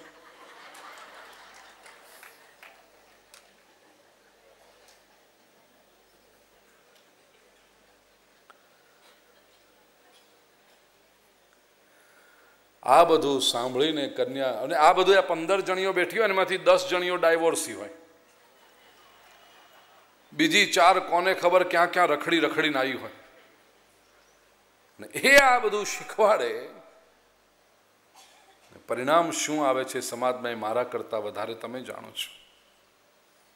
સહન કરવાની વાત જ ચાલી પરિવાર છીએ તો બધાએ થોડું સહન કરવું પડે. કોઈ એક જ વ્યક્તિ સહન કર્યું કહેવાનો મારો આશય નથી. બધાએ સહન કરવું પડે. બધાએ થોડું જતું કરવું પડે. દરેક એમ હું શું કામ સહન કરું? હું શું કામ સહન કરું?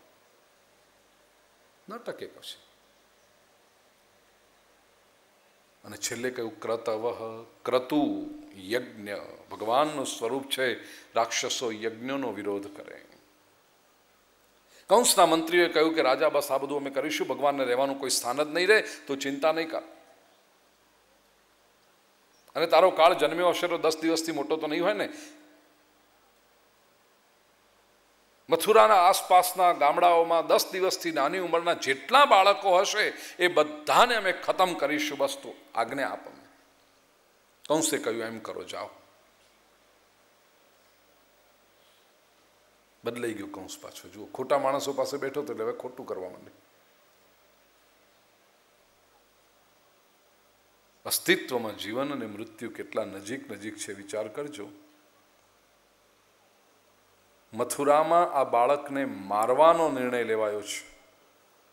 અને મથુરાથી થોડાક જ ગાઉ દૂર ગોકુલમાં આ બાળકના આગમનની ખુશીમાં લોકો ઘેલા થઈને નાચ્યા છે. નંદ મહોત્સવ ઉજવાયો છે શ્રીમદ ભાગવતના કુલ શ્લોક કેટલા? અઢાર હજાર, અમારો પૂરવ જવાબ આપે છે. અઢાર હજાર. એ અઢાર હજાર શ્લોકોમાં અનુભવ તો એક જ આપવાનો છે, આનંદનો. એ આનંદનું વર્ણન દશમ સ્કંદના પાંચમા અધ્યાયના પહેલા અઢાર શ્લોકોમાં કર્યું છે, નંદ મહોત્સવના શ્લોકોમાં કર્યું છે.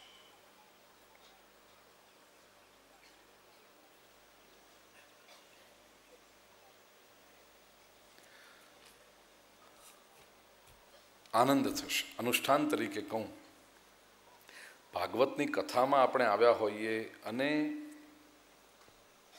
નંદ મહોત્સવ ઉજવીએ, સારું છે. જન્માષ્ટમીના બીજા દિવસ સવારે મંદિરમાં કે હવેલીમાં જઈને નંદ મહોત્સવ ઉજવીએ, સારું છે.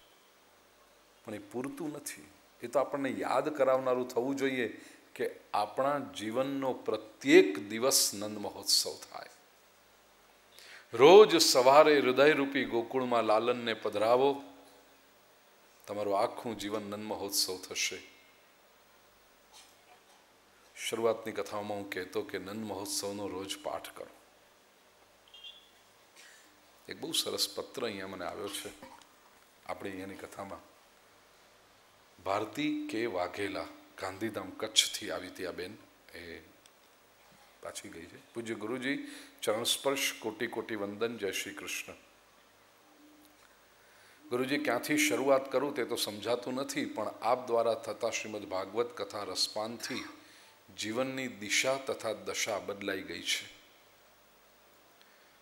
ગુરુજી, આપના દ્વારા કથામાં કહેવામાં આવતા મંત્રોના અનુષ્ઠાનથી તથા અનેક પ્રયોગના આચરણથી જીવનમાં અદ્ભુત લાભ થયેલ છે.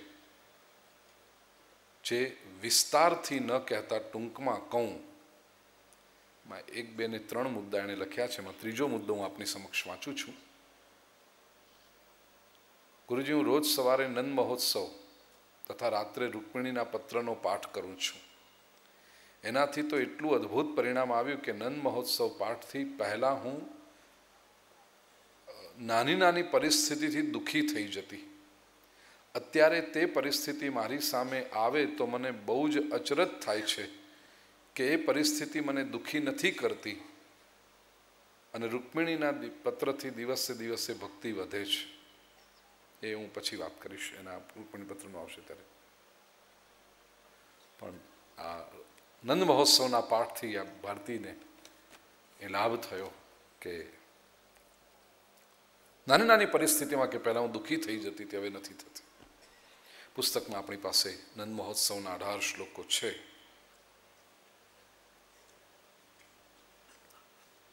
પચીસમાં પાને એક એક ચરણ હું બોલીશ, મારા પછી આપશો श्रीशुक उवाच श्रीशुक उवाच नन्दस्त्वात्मज उत्पन्ने नन्दस्त्वात्मज उत्पन्ने जाताह्लादो महामनः जाताह्लादो मन आहूय विप्रान् वेदज्ञान् आहूय विप्रान् वेदज्ञान् स्नातः शुचिरलङ्कृतः। स्नातः शुचिरलङ्कृतः सुखदेव जी वर्णन करे छे राजन परीक्षित। નંદસ્ત્વાત્મજ ઉત્પન્ને નંદને ત્યાં જ્યારે પુત્ર જન્મ થયો સંતો ચર્ચા કરવા બેઠા નંદને ક્યાં ત્યાં ક્યાં પુત્ર જન્મ થયો છે પુત્ર તો વસુદેવજીનો છે તો સુખદેવજી એમ કેમ કહે છે કે નંદન આત્મજ શબ્દનો અર્થ થાય પુત્ર। અર્થઘટન થયું કે ભારતીય સંસ્કૃતિ પાંચ પ્રકારના પિતા કહે છે. જન્મદાતા, જીવનદાતા વિદ્યાદાતા, ભયત્રાતા અને કન્યાદાતા.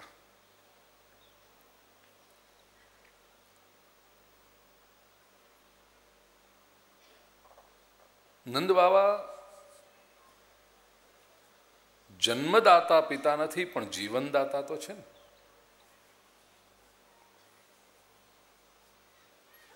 પાળી પોષી ઉછેરીને મોટા કર્યા છે.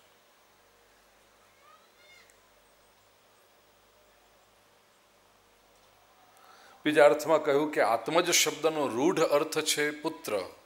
પણ સમાસ વિગ્રહ જો કરીએ તો આત્મની જાયતે ઇતિ આત્મજ.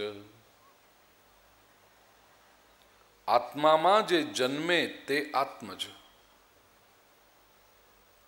અને દ્રષ્ટિએ જોતા લાલન સૌના આત્મજ છે.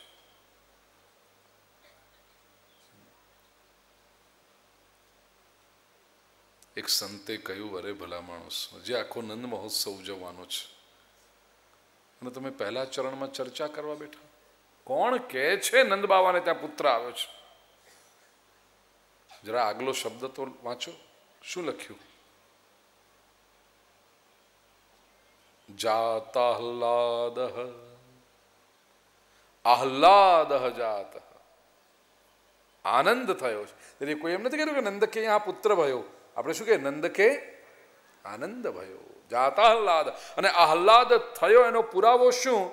તો નંદ બાબા મહામનઃ, બહુ મોટા મનવાળા થઈ ગયા. પરસ્પર છે.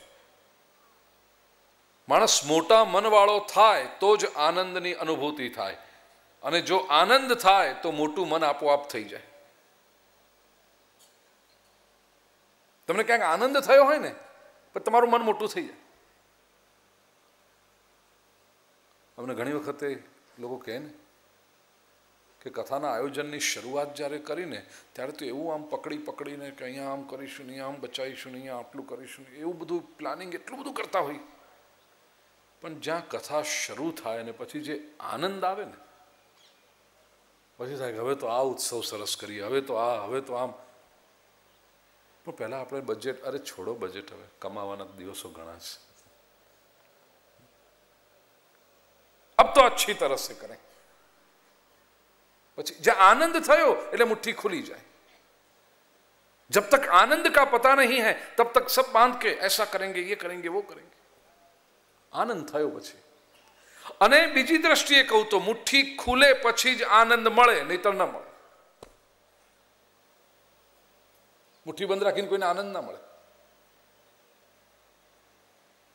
મોટું મન કરવું પડે છે નથી કહેતા લોકો કે નાના હતા બાપ દાદાનું નાનકડું ઘર હતું, પણ એ નાનકડા ઘરમાં ચાર ભાઈઓ રહેતા સાથે. ચાર ભાઈઓ અને ચાર પત્નીઓ નવા નવા લગ્ન થયા હોય બધાના.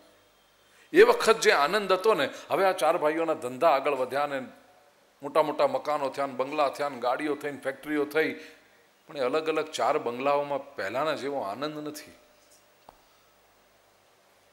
ક્યો? કારણ કે મન સાંકડા થઈ ગયા.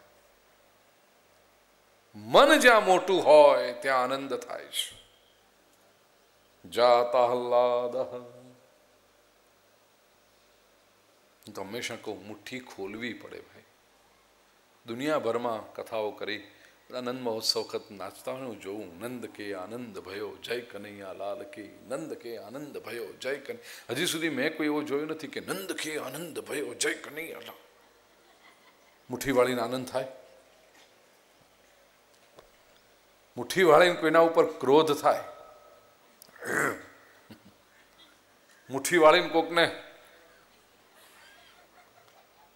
અને પછી મુઠ્ઠી વળાઈને ભાગાય પણ ખરું. મુઠ્ઠી વાળીને આનંદ ન થાય. આનંદ માટે તો મુઠ્ઠી ખોલવી પડે. અને આપણે મુઠ્ઠી ખોલવાનો અર્થ માત્ર એટલો જ સમજીએ છીએ કે કંઈક આપવાનું. એ તો ચોક્કસ. પણ આગળ વધીને કહું, કંઈક ઝીલવું હોય તોય મુઠ્ઠી ખોલવી પડે છે. મુઠ્ઠી બંધ હોગી તો આપ જેલ ભી નહીં શકોગે કુછ. સ્વીકાર પણ કરવો હોય તેના માટે મુઠ્ઠી ખોલવી પડે છે. મહામન આનંદ બાબાએ ભંડારો ખોલી દીધા છે. આજે ઇતની બધાઈયા દી સબકો चांदी की मोहरे सोना मोहरे रत्न के भंडार खोल दिए આહુય વિપ્રાન વેદ જ્ઞાન વિદ્વાન બ્રાહ્મણોને નિમંત્રણ આપ્યું સ્નાત શુચિરલંકૃત નંદ બાબા પોતે સ્નાન કરી યમુનાજીમાં જઈ સરસ રીતનું સ્નાન કરી સુંદર વસ્ત્રો અલંકારો પહેરીને તૈયાર થયા પછી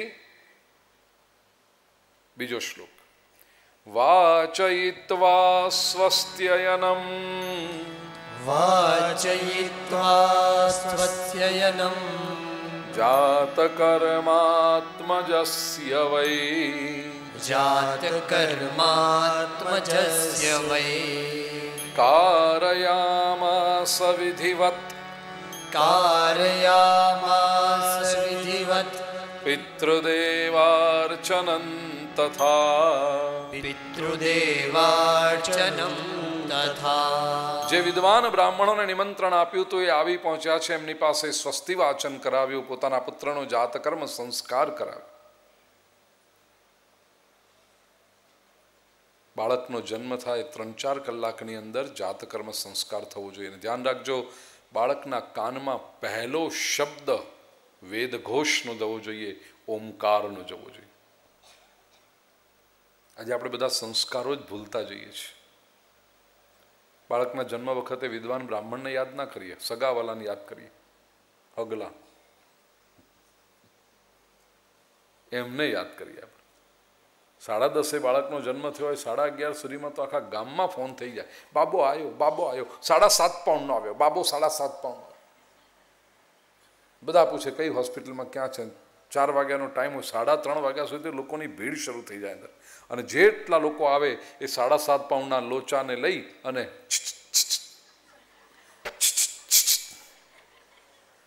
પહેલા ત્રણ મહિના સુધી જે આ સાંભળતું રહે, એ સસલું ન થાય, બીજું શું થાય? એ સિંહ કેવી રીતે થાય?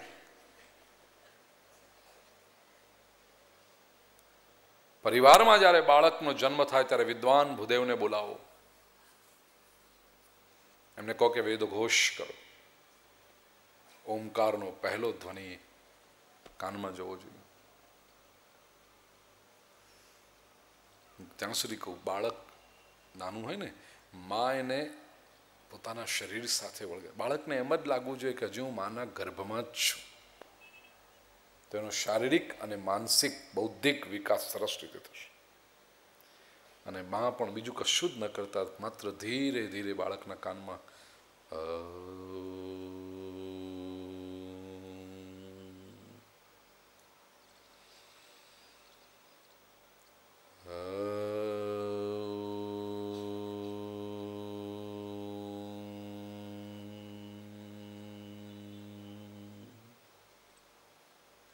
ઉચ્ચાર કરતી રહી. આજકાલ તો ચાર મહિનાનું છોકરું થાય ને, એને ગાદીમાં નાખીને ટીવી સામે ધરબી દે. અને કે અમારો છોકરો બહુ ટીવી સામે મૂકી દે એટલે બધું રડવાનું બંધ કરે. આ સત્યાનાશ નીકળી રહ્યું છે એનું. ચાર મહિનાના બાળક. ટીવી સામે. એની આંખો બગડે, એના કાન બગડે, એનો બુદ્ધિ બગડે. કેવળ ઓમકારનો ધ્વનિ જવો જોઈએ જાત સંસ્કાર કરો પિતૃદેવાર્ચનન તથા પિતૃઓનું પૂજન કરો પરિવારમાં સંતાનનો જન્મ થાય ત્યારે પિતૃઓનું સ્મરણ કરો, યાદ કરો એમને। એમના આશીર્વાદથી આપણે ત્યાં સંતાનનો જન્મ થયો છે અને દેવતાઓનું પૂજન કરો। ત્યાર પછી ત્રીજો શ્લોક. ધેનો નાન્યુતે પ્રાદાદ। ધેનો નાન્યુતે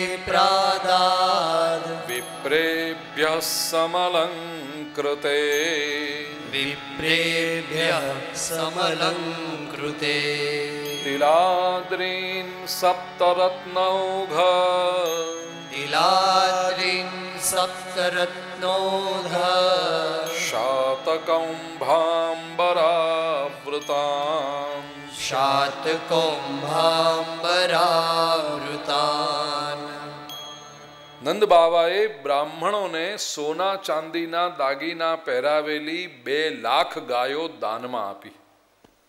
ધેનું નામ નિયુતે પ્રાદાદ. સંસ્કૃતમાં નિયુત એટલે એક લાખ, નિયુતે એટલે બે લાખ. વિપ્રેભ્ય સમલંકૃતે, વિપ્ર એટલે બ્રાહ્મણોને સમલંકૃતે સરસ મજાના અલંકારો પહેરાવેલી બે લાખ ગાયો દાનમાં આપી છે.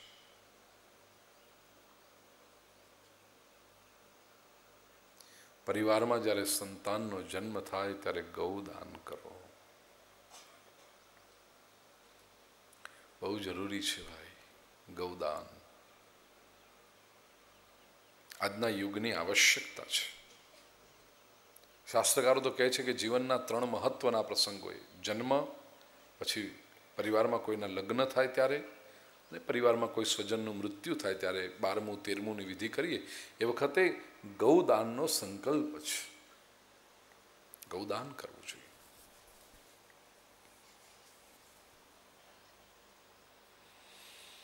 લોકો ભૂલતા જાય છે ભાઈ પરંપરાઓ બધી. આવશ્યકતા જ જીવનની છે. બીજું બધું જ કરે, ગૌદાન ન કરે. દીકરીના લગ્ન કરાવતા હોય ને, અને વિદ્વાન બ્રાહ્મણ વિધિ કરાવી રહ્યા હોય. કહે કે ભાઈ કન્યાદાન પહેલાં ગૌદાનનો સંકલ્પ છે. એટલે કન્યાના પિતા દસ રૂપિયાની એક નોટ કાઢીને મૂકે કે લ્યો મહારાજ ગૌદાન. એટલે દસ રૂપિયામાં એક લીટર દૂધ નથી આવતું, તમે આખી ગાય આપવા બેઠા છો. એ તો હવે બ્રાહ્મણ લઈ જાઓ ને. બ્રાહ્મણ લઈ જવાનો છે એમ વિચારશો તો બ્રાહ્મણની જેટલી શક્તિ છે એટલું જ આપશે. હું ભગવાનને આપું છું એવો વિચાર કરો, તો ભગવાનના આશીર્વાદ તમારા પર ઉતરશે. ગૌદાન બીજા બધા ખર્ચા આપણે કેટલા ખોટા કરીએ છીએ કંકોત્રી મોંઘા મોંઘી છપાવીને, કંકોત્રીની સાથે મીઠાઈઓ વેચીએ ચાંદીના સિક્કા વેચીએ ને.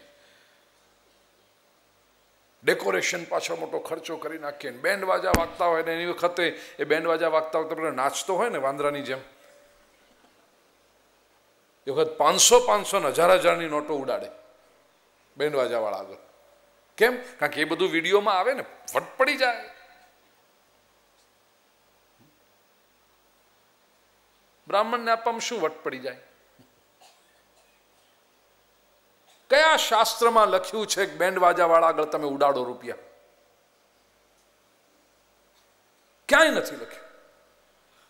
પણ ગૌ સેવાની જ્યારે વાત કરીએ ત્યારે લોકોને ત્યાં બધું બજેટ નડે, ત્યાં જ બધો ખર્ચો એ થઈ જાય. છસો રૂપિયાની એક પ્લેટ હોય કેટરર એવો મોંઘાવાળો બોલાવ્યો હોય, અને લોકો તો એ દાડે ચાર ચાર લગ્નોમાં જઈને આવ્યા હોય. દેખાડવા પૂરતા માત્ર દાળ ભાત કે સલાડ થોડુંક લઈને પ્લેટ ફેંકી દે, આ તમારા છસો રૂપિયા કચરામાં ગયા, અને ગાય માતાને માટે કરવાતું એ સમાજે કર્યું નહીં. આ મારી વેદના છે, હું વ્યાસપીઠ પરથી વ્યક્ત કરતો છું. જે કરવું જોઈએ આપણે કરતા નથી. અને ખોટી પ્રવૃત્તિઓમાં આપણો સમય, સંપત્તિ, શક્તિ બધું જ વેડફાતું રહે છે. લગ્ન વિધિમાં ધ્યાન ના હોય, બૂટ ચોરવામાં ધ્યાન હોય. નાક ખેંચવામાં ધ્યાન હોય. આ ક્યાં લખ્યું છે કે નાક ખેંચો બૂટ ચોરો ને? કયા શાસ્ત્રમાં? મને કોઈ બતાવે તો ખરું. અને શાસ્ત્રની જે વિધિ છે પારસ કરવું સૂત્ર પ્રમાણે, એ તો કોઈ જુએ નહીં. મહારાજ, જલ્દી કરો, મહારાજ, જલ્દી કરો. કારણ કે તારે લગ્ન જીવને જલ્દી પતાવવું છે ને પછી.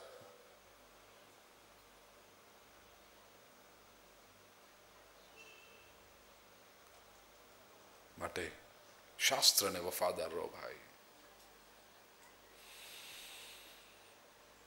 એક બહુ મધુરો પ્રસંગ મારા દાદીમાં કહેતા.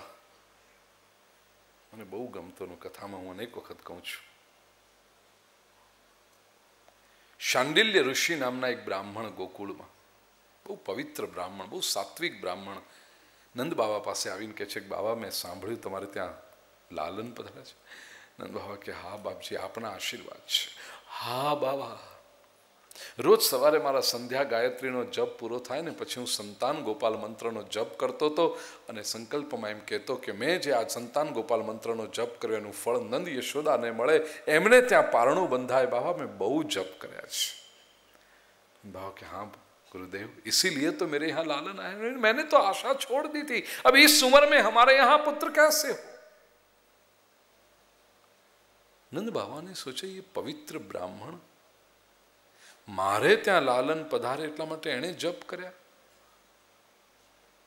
ક્યારેય કશું માગ્યું નહીં મારી પાસે. તો હવે મારી ફરજ બને છે કે મારે એને રાજી કરવા જોઈએ. બડે દિલવાલે થે મહામના પાંચ હજાર ગાયો દાનમાં આપી દીધી શંડી ઋષિ. રાજી થઈને આ બ્રાહ્મણ પોતાના ઘર તરફ ચાલ્યા. આંગણામાં પહોંચીને કહ્યું, અરે ગોરાણી, સાંભળો છો? ગોરાણી પાણી ભરવા ગયા હતા. ઘરમાં કોઈ હતું નહીં.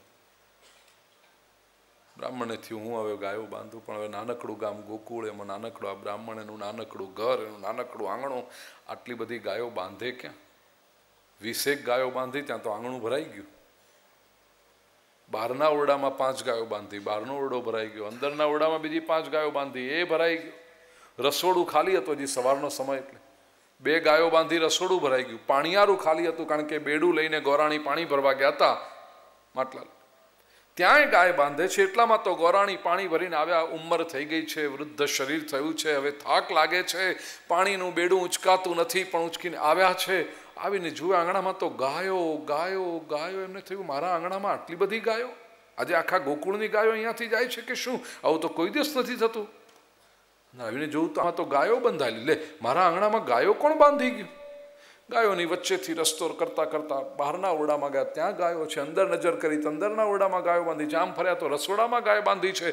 પાણીયારે બેડું ઉતારવા જાય છે. ત્યાં તો શાંડિલ્ય ઋષિ વાંકા પડ્યા હતા એટલે પત્નીએ પૂછ્યું કે શું કરો છો? તો કે ગાય બાંધું છું. અરે, પાણીયારે તે કંઈ ગાયો બંધાતી હશે? ક્યાંથી આવી આ બધી ગાયો? આવી ક્યાંથી? શાંડિલ ઋષિ કહે છે, આવી નથી. નંદ બાબાએ આપણને પાંચ હજાર ગાયો દાનમાં આપી છે. ગોરાણીએ કપાળ કૂટતા કીધું, આપનારો તો આપે, લેનારમાં અક્કલ જોઈએ ને. નંદ બાબાએ આપીને તમે આ પાંચ હજાર ગાયો લાવીને અહીંયા ઊભી રાખી. હવે તમે તો હાથમાં ગૌમુખીની માળા લઈને ફર્યા કરશો આખા ગામમાં. ગાયોનું ધ્યાન તો મારે રાખવું પડશે ને. હવે મારી કંઈ ઉંમર છે આ બધું? ગાયોનું ધ્યાન રાખવાની મજૂરી કરવાની. આટલી બધી ગાયોને બાંધવાને છોડવામાં જ મારી તો કમર રહી જશે. આ ગાયોને ચરવા કોણ લઈ જશે? પાછી આવીને પાંચ હજાર થઈ ગણીને બાંધશે કોણ? એને ગાયોના છાણ વાસિંદા કોણ સાફ કરશે? ગાયોને નીરશે કોણ ઘાસ? એના દૂધ કોણ દોશે? દૂધ આવ્યા પછી એના દહીં માખણ કોણ કરશે? મથુરા વેચવા કોણ જશે માખણ? મને તો એમ કે આખી જિંદગી મજૂરી કરી હવે છોકરાઓ ભણી ગણીને મથુરામાં સેટલ થઈ ગયા. આપણે હું તો ઉતી બે જણા જેટલા વર્ષ જિંદગીના બાકી રાખ્યા છે ભગવાને. નાનકડા ગોકુળિયા ગામમાં રહીને ભગવાનની ભક્તિ કરતા કરતા જિંદગી પૂરી કરીએ, ત્યાં તમે જતી જિંદગી વળી આ લઈને આવ્યા. તમારી સાથે રહીને કોઈ દિવસ મેં શાંતિનો દાડો જોયો જ.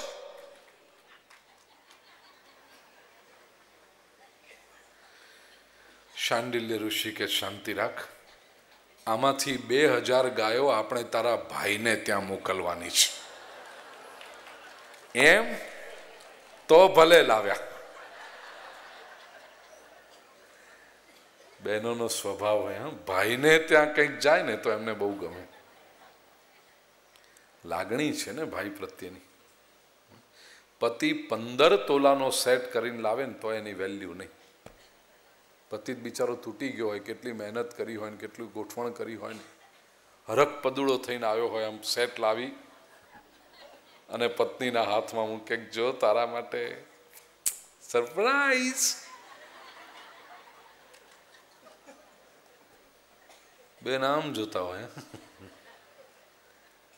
બોક્સ લે, ખોલે, પતિની સામે જે પતિ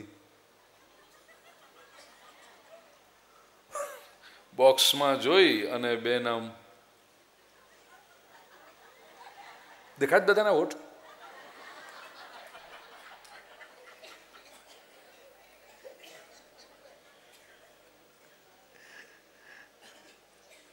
દોઢ વર્ષથી કહેતી હતી ત્યારે માંડ લાવ્યા. કોઈ વેલ્યુ નહીં, પંદર તોલાની. અને ભાઈને ત્યાંથી એક અડધા તોલાનો ચેન આવ્યો હોય ને એ બધાને બતાવે આ છે મારા ભાઈને ત્યાં છે. હમણાં ભાઈ બીજ વખતે આવ્યો હતો ને દિવાળીમાં મારો ભાઈ મારો ભાઈ કોઈ દિવસ ખાલી હાથે ના જાય. કંઈક ને કંઈક તો મને આપતો જાય. મારો ભાઈ આપે અડધા તોલાનો તો આમ જ હોય ને, અડધા તોલાનો કંઈ આમ તો હોય નહીં. ગોરાણી પણ રાજી થઈ ગયા કે આમાંથી બે હજાર ગાયો મારા ભાઈને ત્યાં જવાની છે. બેડું મૂક્યું પડતું અને ગોર ગોરાણી બે જણા હાથ પકડીને નાચે છે. આજે આખા ગોકુળમાં સૌ ગોપ ગોપી નાચી રહ્યા છે. નંદ કે આનંદ ભયો. હાથી ઘોડા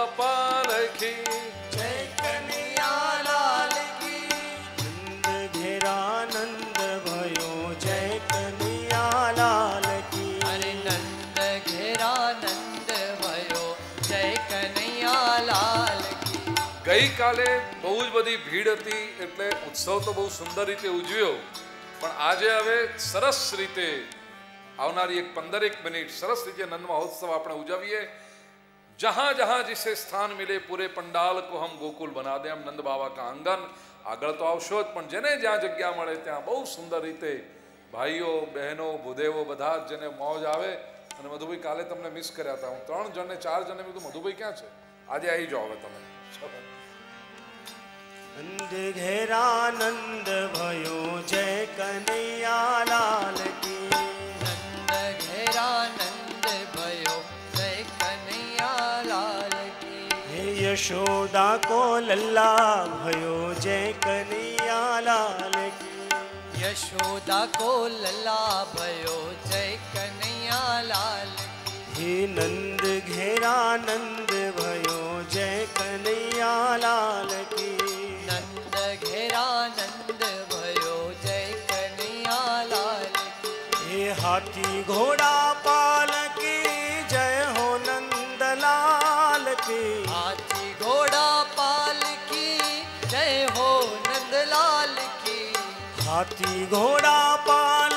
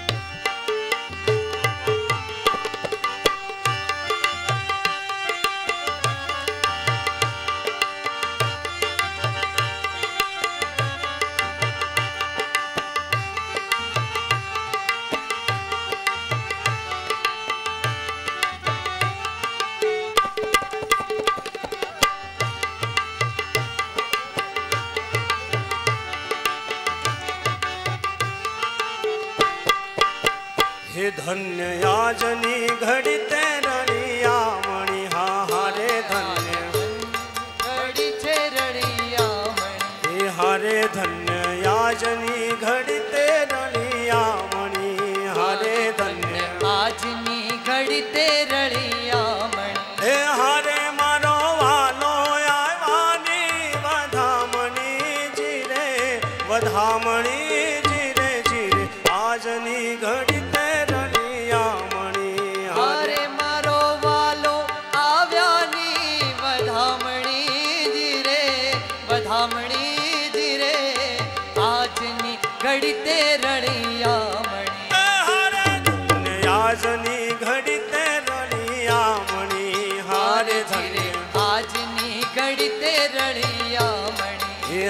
મેં તું તરિયા દે તો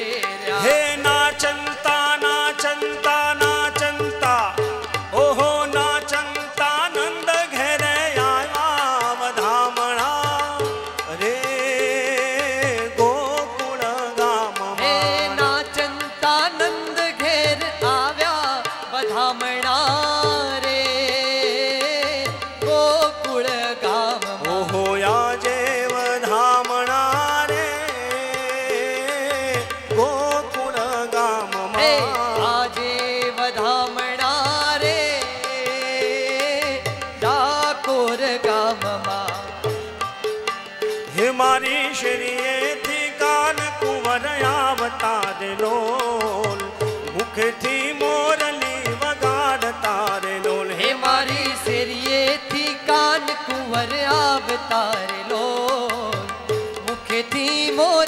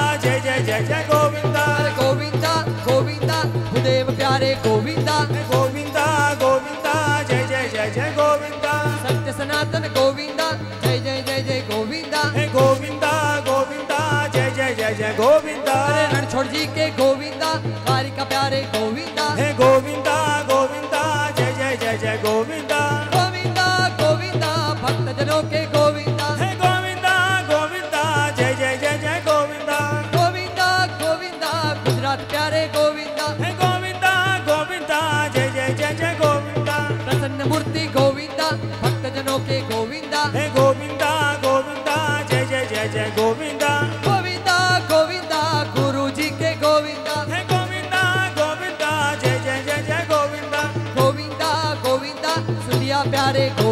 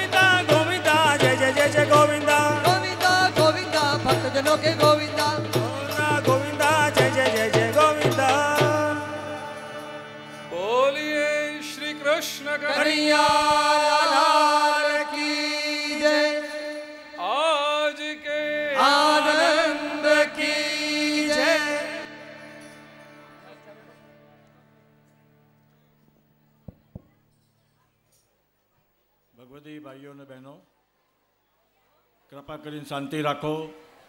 તમારી જગ્યા ઉપર બેસી જાઓ. ખૂબ આનંદ માણ્યો આપણે. મારે આજે તમને બે પ્રશ્નો પૂછવા છે. ખૂબ જ શાંતિથી જવાબ આપજો. પૂજ્ય ભાઈ ભોજનના ખૂબ વખાણ કરે છે આપણા. એ વખાણ કરવા લાયક છે આપણું ભોજન? તો તમને બધાને એમ નથી થતું કે તમારી સાથે પૂજ્ય ભાઈશ્રી પણ ભોજન લેવા પધારે? આપ સૌના બધાના વતીથી પૂજ્ય ભાઈશ્રીને વિનંતી કરું છું કે આવતીકાલે બપોરે અમારી સાથે ભોજન લે. અને બીજો મારો હક છે કે પૂજ્ય ભાઈશ્રીના બા બાપુજીને આમંત્રણ મેં આપ્યું છે. એટલે મારે એમને જમાડવા જોઈએ. સાચી વાત છે ને બા? તો બાની, બા બાપુજીની જોડે દીકરા તો જરૂરથી વધારે એટલે મારી એ વિનંતી સ્વીકારે. આપ સૌના વતીથી વિનંતી કરું છું એમને. કે આપણી વચ્ચે કાલે પધારે ને આપણી સાથે ભોજન લે. અને બીજું જે વખાણ કરે છે કે એક એક ચીજ એવી બનાવીને એમને ખાધી છે, એવી જ ચીજ કાલે બનાવીને એમને ખવડાવશું આપણે.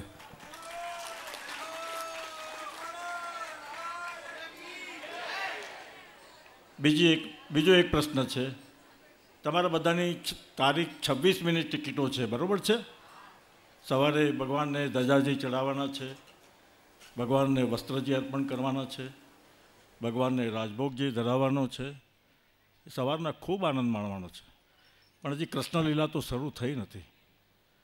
મેં જ્યારે પણ દોઢ વર્ષ પહેલાં પણ વિનંતી કરી હતી ભાઈ, કૃષ્ણને કૃષ્ણલીલા સંભળાવવાની છે. અને એ કૃષ્ણલીલાનો આનંદ અમારે માણવાનો છે. સવિસ્તાર કૃષ્ણલીલા સાંભળવી છે. સમય બહુ ટૂંકો પડી ગયો છે. આપ સૌના વર્તીથી વિનંતી કરું, ભાઈ, અમારે તો છવ્વીસ મિનિટ ટિકિટો છે રાતની. તો છવ્વીસમી સુધી કથા ચાલુ રાખો તો સારું.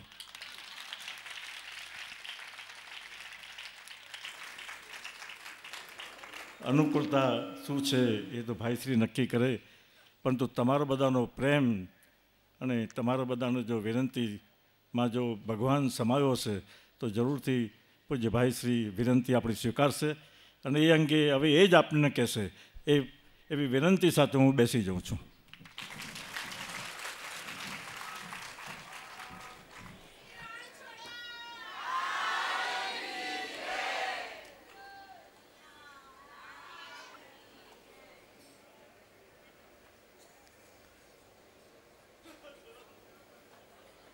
કેવા ફિક્સમાં મૂકી દે આપણને? હું હંમેશા કહેતો આવ્યો છું કે મધુભાઈને બહુ સરસ આવડે છે.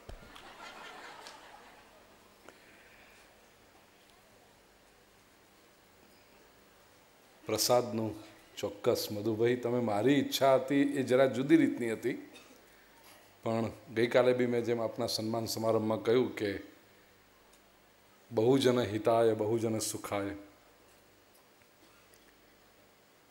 મારી ઈચ્છા એવી રીતની હતી પ્રસાદ લેવાની, જે ચતુશ્લોકી ભાગવત કંઠસ્થ કરવાનું મેં કહ્યું હતું. મારા મનમાં એમ હતું કે જેટલા લોકો ચતુશ્લોકી ભાગવત કંઠસ્થ કરીને મારા ભૂદેવો આગળ પરીક્ષા આપે અને પાસ થઈ જાય, એ બધાને હું પોતે ભોજન પીરસીશ અને પછી એમની સાથે બેસીશ. આવું મારી ઈચ્છા હતી. એટલે મેં ગઈકાલે પણ એમને પૂછ્યું કે હજી કોઈ આવ્યા છે તમારી પાસે? કોઈ આવ્યા છે? ગઈકાલ સુધી કોઈ હતું નહીં. ચાર શ્લોકો કંઠસ્થ કરેલું. પણ મારી ઈચ્છા એવી હતી કે છેલ્લે દિવસે, જતા પહેલાં એટલે પચીસ તારીખે પૂર્ણાહુતિ કરી અને હું એ કરવાનો હતો. કેટલા લોકોએ નક્કી કર્યું? ચતુશ્લોકી ભાગવત કેટલા લોકોએ ગુખ્ય ગયું? તો પરીક્ષા આપી દો અમારા ભૂદેવ આગળ. હા. નામ આપ્યા છે તમને ખબર છે ને અમારો? ધરમદીપ છોટેલાલ ને પુરુષોત્તમ ત્રણ જણ. તો એની આગળ પરીક્ષા આપો એટલે છવ્વીસમી સવારે. પણ હવે મધુભાઈ આમંત્રણ આપ્યું છે એટલે કાલનો પણ પ્રસાદ કાલે હું પીરસીશ નહીં. પીરસીશ તો જેણે ચતુશ્લોકી ભાગવત કંઠસ્થ કર્યું છે ને તો કાલના પ્રસાદનું આમંત્રણ સ્વીકાર કરું છું મધુભાઈ, પણ છવ્વીસમીનું સ્વીકારી એટલા માટે નથી શકતો કે ત્યાં મુંબઈમાં કાર્યક્રમ છે અને ત્યાં લોકો રાહ જોતા હોય ત્યારે એવી રીતે ન કરી શકાય. એટલે પણ પ્રસાદનું નક્કી. અને બીજું કહું સાત દિવસની કથાથી જો આપણને સંતોષ ન થયો હોય તો વળી પાછું ભગવાન રણછોડરાય જ્યારે કૃપા કરે, બે વર્ષે, પાંચ વર્ષે, નવ દિવસની રામકથા આપણે અહીંયા આગળ.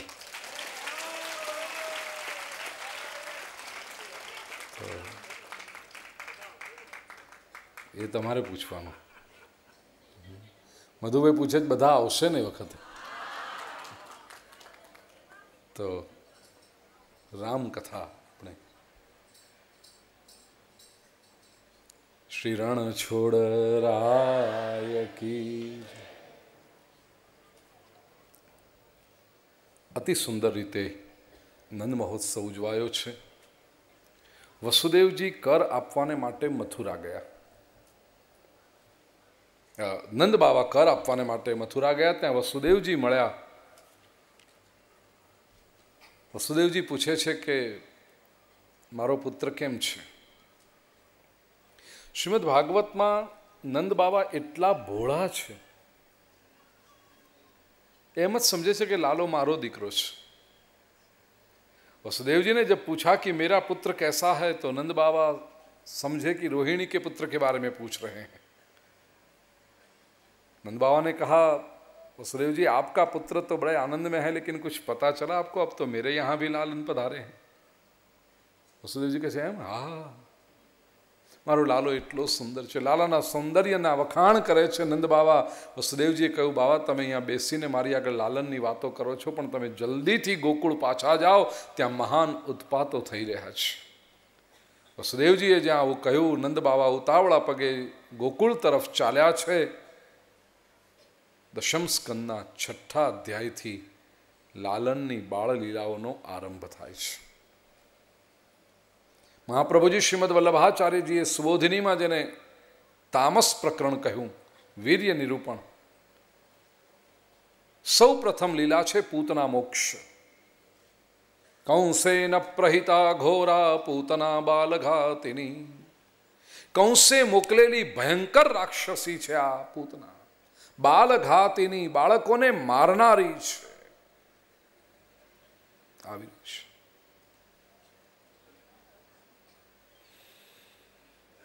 છે રાક્ષસી. પણ સુંદર રૂપ લઈને આવી છે. સુંદર સ્ત્રીનું સ્વરૂપ લીધું, સુંદર કપડાં પહેર્યા, સુંદર દાગીના પહેર્યા, દૂરથી કોઈ જુએ તો એમ જ લાગે કે જાણે લક્ષ્મીજી પધારીને છે. પૂતના શબ્દનો તાત્વિક અર્થ પણ સમજો પૂત એટલે પવિત્ર, ના એટલે નથી. જે પવિત્ર નથી તે પૂતના છે. અવિદ્યા એ પૂતના છે. અને અવિદ્યા જ્યારે જીવનમાં આવે છે, કોઈ પણ પાપ જ્યારે જીવનમાં આવે છે, ત્યારે બહુ આકર્ષક બનીને આવતું હોય છે. પાપ એના મૂળ રૂપે આવે તો કોઈ એનો સ્વીકાર કરે જ નહીં, એને સુંદર બનવું જ પડે. બંને બાજુ જોતી જોતી આવે છે, કોઈ બાળક છે, મારી નાખું. પૂતના ચૌદસને દિવસે આવી છે, ગોકુલમાં. શાસ્ત્રકારો એનો પણ અર્થ કર્યો.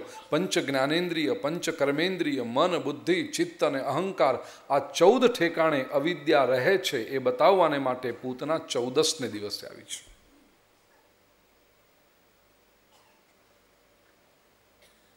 બંને તરફ જોતી જોતી જાય છે, કેવી રીતે મારશે બાળકોને? પૂતના પોતાના સ્તન ઉપર ઝેર લગાડીને આવી છે. કોઈ પણ નાનું બાળક દેખાય રમતમાં રમતમાં ઉપાડી લે, ઝેર આપીને મારી નાખે. જેનું તન સુંદર પણ મન મેલું એ પૂતના છે. જેના ચહેરા પર સ્મિત, પણ હૈયામાં ઝેર એ પૂતના છે. હમણાંથી એક અર્થ એવો પણ કરું છું કે હૃદયનું સ્થાન છે સ્ત્રીના શરીરમાં હૃદયનું સ્થાન એ પોષણનું સ્થાન છે સ્તન એના પર ઝેર લગાડીને મારે છે એનો અર્થ પોષણના સ્થાન પરથી જે શોષણ કરે એ પૂતના છે અને આધુનિક યુગમાં તમે દરેક ક્ષેત્રમાં જુઓ जो सत्ता के स्थान पर बैठे हैं कुर्सी पर बैठे हैं जो लोग પછી બ્યુરોક્રેટ્સ હોય રાજકારણીઓ હોય, અમલદારો હોય કે કેટલીક સંસ્થાઓના બની બેઠેલા ગાદીપતિઓ કે સત્તાધીશો હોય, સત્તાના સ્થાન પર બેઠા છે ડોળ એવો કરે છે કે અમે સમાજનું પોષણ કરી રહ્યા છીએ, પણ ખરેખર તો એ સમાજનું શોષણ કરે છે. આધુનિક યુગની પૂતનાઓ છે.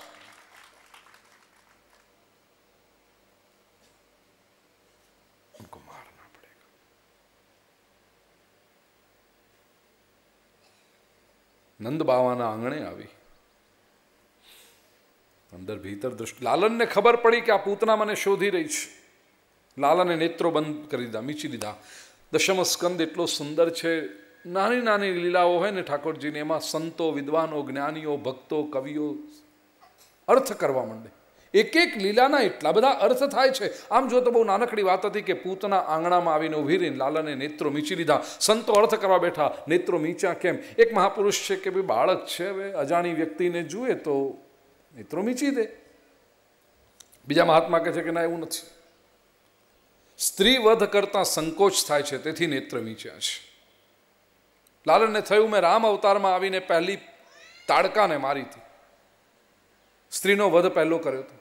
આ પૂર્ણ અવતાર લઈને આવ્યો ત્યારે પણ પહેલા સ્ત્રીથી શરૂ કરવી પડશે. સ્ત્રી વધ કરતા ને સ્ત્રીને મારવામાં બહાદુરી શું? આંખો મીચી લીધી છે. ત્રીજા મહાપુરુષ કે છે કે ના એવું નથી, ભગવાન તો સચરાચરના પિતા છે. પૂતના પણ એમનું જ સંતાન છે.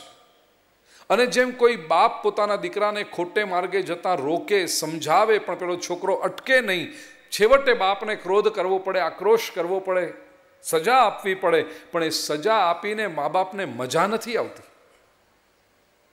કોઈ પિતાએ પોતાના બાળકને સજા આપી, પછી પિતા ને હા હા, કેવી મજા આવી ગયા તો ફટકાર્યો. એવું લાગે છે? નહીં. એકલો પડ્યા પછી પિતા પણ રડતો હોય છે કે, મેં શા માટે મારા બાળકને સજા કરી?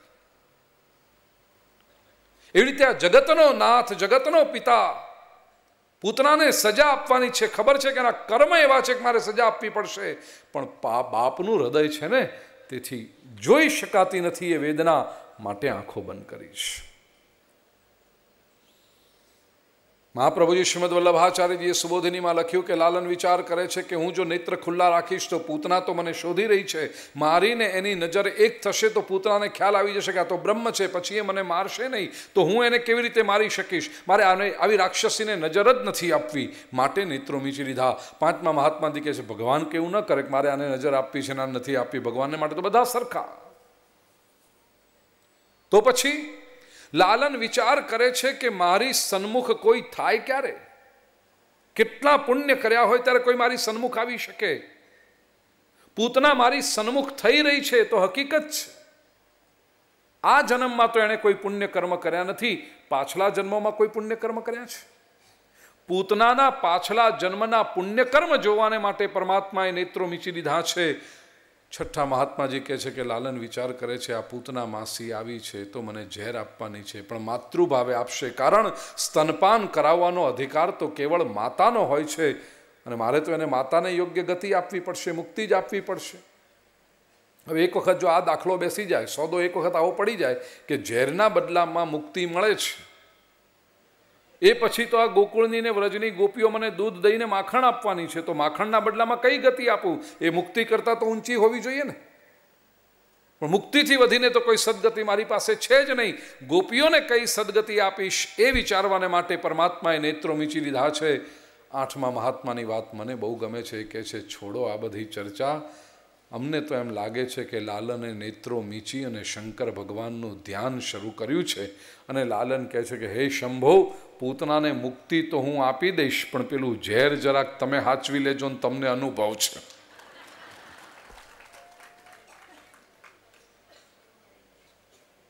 શિવજીનું ધ્યાન શરૂ કર્યું છે. સાચું પૂછો ને, તો લાલન જ્યારે પ્રગટ થયા ત્યારે એમના દર્શન કરવાને માટે શિવજી નંદ બાવાના આંગણે પહોંચ્યા હતા. આજે શિવરાત્રિ છે એટલે ખાસ યાદ કરવું આ પ્રસંગ. ટાઢી લીલા. શિવજી ઠાકોરજીના દર્શન, આપણા ગ્રંથો એટલા સુંદર છે, એની મહાનતા એવી છે. શૈવ ગ્રંથો તમે વાંચો, શિવજીના ગ્રંથો તો એવું આવે કે વિષ્ણુ ભગવાન શ્રેષ્ઠ શૈવ ભક્ત છે. શિવજીના ઉપાસક. વિષ્ણુ ભગવાન શિવજીની ભક્તિ કરે શિવજી વિષ્ણુની ભક્તિ કરે. આ ભગવાનોને કોઈ વાંધો છે જ નહીં. પાછળ ચાલનારાઓને તકલીફો છે. શિવજી ઓર વિષ્ણુ કોઈ કોઈ સમસ્યા ही નહીં. અને વૈષ્ણવ ગ્રંથો વાંચો તો એમાં એવું લાગે કે શિવજી પરમ વૈષ્ણવ છે. રામાયણમાં રામજીના ઈષ્ટદેવ શિવજી, શિવજીના ઈષ્ટદેવ રામ. દોનો મેં કોઈ અંતર નહીં. શિવજી ઠાકોરજીના દર્શને પધાર્યા છે.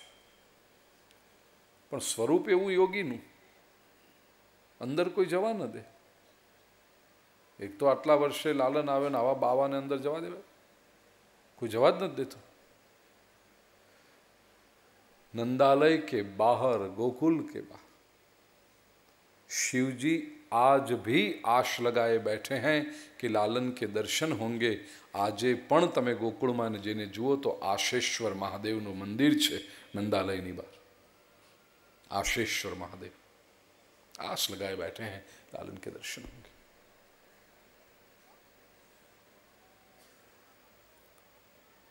પૂતના ભીતર પ્રવેશ લાલનને લીધા છે. રમતમાં રમતમાં બહાર લઈ આવી, આંગણામાં આવી.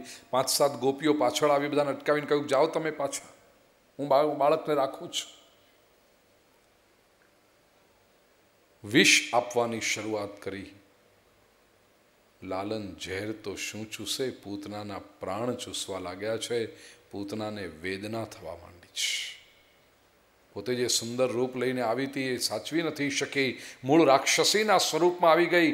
કાળી, કદરૂપી એની વિકરાળ, કાયા, લાંબા લાંબા હાથ, પગ જોર જોરથી પછાડે છે. એમ લાગે જાણે ધરતીકંપ થઈ રહ્યો છે. જોર જોરથી એ ચીસો પાડે છે. હાથ, પગ એને જોર જોરથી પછાડ્યા. નંદબાવાના આંગણાના કેટલાય વૃક્ષો પડી ગયા. પૂતના આમ બહુ સારી, મરતી ગઈ પણ બાળવાના લાકડાની વ્યવસ્થા કરતી ગઈ. કારણ કે આ બધા વૃક્ષને બાળવાના કામમાં આવે. ચીસો પાડે છે, સામંચ મુંચાલમિતિ પ્રભાષણી મને છોડ મને છોડ એવા પોકારો કરે છે. લાલન ધીરેથી કહેતા હશે, હું એકવાર જેને પકડું ને પછી છોડતો નથી. પૂતનાના પ્રાણ ચાલ્યા ગયા છે. નિશ્ચેષ્ટ થઈને પૂતના પટકાઈ. ગોપીઓ દોડી આવી કે શું થયું? ધરતીકંપ જેવું લાગ્યું. કોણ છે આ ક્યાં આટલી મોટી વિકરાળ રાક્ષસી આ બધા વૃક્ષો પડ્યા છે, આ શું થયું? અરે, પેલી સુંદર સ્ત્રી હતી તો આંગણામાં આવી હતી. ક્યાં ગઈ? અરે, એના હાથમાં તો આપણે લાલાને સોંપ્યો હતો. લાલો ક્યાં છે? લાલો ક્યાં છે? લાલો ક્યાં છે? શોધખોળ થઈ ગઈ. બે ત્રણ ગોપીઓની નજર પડી. પૂતનાના દેહ પર લાલનને નિરખ્યા છે. કેવા દેખાય છે? જાણે મોટો ખડક, પથ્થર, શીરા હોય અને એના ઉપર કમળનું ફૂલ મૂક્યું હોય કેવું લાગે? પૂતનાના દેહ પર લાલન એવા શોભી રહ્યા છે. બે ચાર ગોપીઓ હિંમત કરી લાલનને લઈ આવી અને કહે છે, આવી રાક્ષસી પાસે આપણો લાલો ગયો ને, આપણો લાલો અપવિત્ર થઈ ગયો, ચાલો આપણે એને પવિત્ર કરીએ.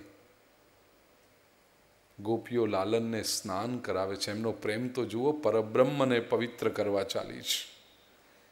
ગોમૂત્ર અને ગોબરથી સ્નાન કરાવ્યું છે. કોઈ સાબુ કે શેમ્પુ શોધવા અમારી ગોપીઓ ગઈ નથી. લાલનને સ્નાન કરાવતી વખતે ગોપીઓએ પૂતના કવચનો પાઠ કર્યો છે. પુસ્તકમાં આપણી પાસે પૂતના કવચ છે. કેટલાક ભક્તો એને ગોપી કવચ પણ કહે છે. નામ તો એ પણ બહુ સરસ, ગોપી કવચ.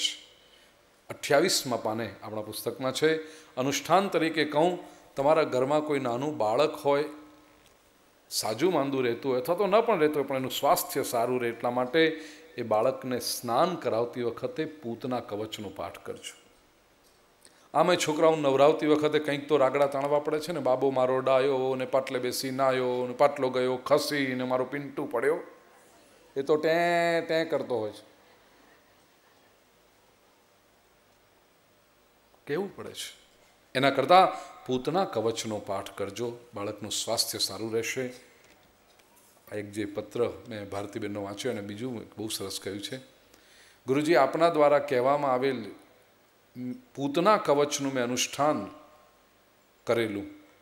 મારી બેબી ઈશિતા જન્મ થતાં જ એને શારીરિક તકલીફ હતી. ડૉક્ટરના કહેવા મુજબ તેના શરીરમાં કોઈ વાલ્વની તકલીફ હતી અને તેનું ઓપરેશન કરાવવાનું હતું. ડૉક્ટરે મહિનાનો સમય આપ્યો કે મહિના પછી ઓપરેશન કરીશું. હું ભયભીત ન થતાં ભાગવત કથા તથા આપશ્રી પર પૂરો દ્રઢ વિશ્વાસના કારણે મેં પૂતના કવચના પાઠ કરવાનું શરૂ કર્યું. જ્યારે મારી બેબીને દૂધ પીવડાવું ત્યારે પૂતના કવચનો પાઠ કરતી. મહિના પછી તે એકદમ સ્વસ્થ થઈ. તેનું ઓપરેશન કરવાની પણ જરૂર ન પડી. હા પૂતના કવચનો પ્રભાવ છે. પુસ્તકમાં અઠ્યાવીસમાં પાને પૂતના કવચ એક એક ચરણ હું બોલીશ મારા પછી આપશો અવ્યાદજોંઘ્રી મણિમાંસ્તવ જાન્વથોરુ અવ્યાદજોંગ્રી મણિમાસ્તવ જાન્વથોરો યજ્ઞોચ્યુત कटितटं जठरं यज्ञोच्युतः कटितटं जठरं हयास्य। हृत्केशवस्त्वदुर ईश इनस्तु कण्ठम्। हृत्केशवस्त्वदुरईश इनस्तु कण्ठ विष्णोर्भुजं मुखमुरुक्रम ईश्वरः। कं विष्णोर्भुजं मुखमुरुक्रम ईश्वरः कम् चक्र्यग्रतः सह गदो हरिरस्तु पश्चात्। चक्र्यग्रत सहगदो हरिरस्तु पश्चात् त्वत्पार्श्वयोर्धनुरसि मधुहा जनश्च त्वत्पार्श्वयोर्धनुरसि मधुहा जनश्च कोणेषु शङ्ख उरुगाय उपर्युपेन्द्रः कोणेषु शङ्ख उरुगाय उपर्युपेन्द्रः तार्क्ष्यक्षितौ हलधरः पुरुषः समन्तात्। दाक्षक्षितो हलधरः पुरुषः समन्तात्। इन्द्रियाणि ऋषिकेशः। इन्द्रियाणि ऋषिकेशः। प्राणान् नारायणोऽवतु। प्राणान्नारायणोऽवतु श्वेतद्वीपपतिश्चित्तम् श्वेतद्वीपपतिश्चित्तम् मनो योगेश्वरोऽवतु मनो योगेश्वरोऽवतु वृष्णिगर्भस्तु ते बुद्धिम्। वृष्णिगर्भस्तु ते बुद्धिम्। आत्मानं भगवान् परः आत्मानं भगवान् परः। क्रीडन्तं पातु गोविन्दः। क्रीडन्तं पातु गोविन्दः। शयानं पातु माधवः। शयानं पातु माधवः। व्रजन्तमव्यादवैकुण्ठ व्रजन्तमव्यादवैकुण्ठ आसीनं त्वां श्रियः पतिः आसीनं त्वा श्रियः पतिः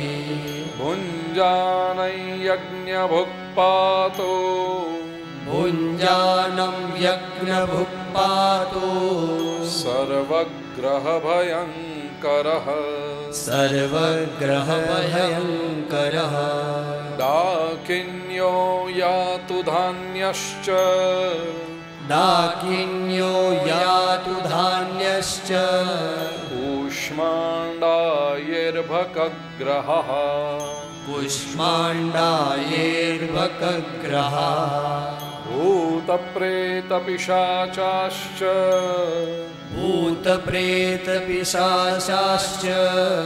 यक्षरक्षो विनायकः यक्षरक्षो विनायकः कोटरा रेवती ज्येष्ठा कोटरा रेवती ज्येष्ठा पूतना मातृकादयः पूतना मातृकादयः उन्मादाये ह्यपस्मारा उन्मादायेऽपस्मारा देहप्राणेन्द्रियद्रुहः देहप्राणेन्द्रियद्रुहः स्वप्नदृष्टा महोत्पाता स्वप्नद्रष्टा महोत्पाता वृद्धबालग्रहाश्च રુદ્ધબાલગ્રહાશ્ચ રુદ્ધબાલગ્રહાશ્ચ સર્વે નશ્યન્તુ તે વિષ્ણુ સર્વે નશ્યન્તુ તે વિષ્ણુ નામગ્રહણભીરવ નામગ્રહણભીરવ ગોપીઓએ સુંદર રીતે લાલનને સ્નાન કરાવ્યું છે, સુંદર વસ્ત્રો પરિધાન કરાવી યશોદા મૈયા પાસે લઈ આવ્યા અને કહ્યું કે, માં, પેલી રાક્ષસીએ બહુ બૂમાબૂમ કરી એટલે આ બાળક ગભરાઈ ગયો હશે, તો તારું દૂધ નહીં પીએ. આપણે કંઈક ઉપચાર કરવો પડશે. પણ જો એ તારું દૂધ પીશે, તો આપણે એમ માનીશું કે એને કાંઈ નથી થયું. યશોદાજીએ લાલનને ખોળામાં લીધા છે, મૈયાનું દુગ્ધપાન કરી લાલન શાંતિથી પોઢ્યા. પૂતનાનો મોક્ષ થયો.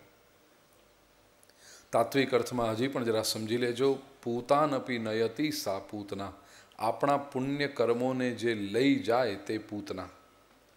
સાવધાન રહેજો, એવી કોઈ પ્રવૃત્તિ તમારા મારા જીવનમાં નથી ને, કે આપણા પુણ્યોને ઓછા કરે.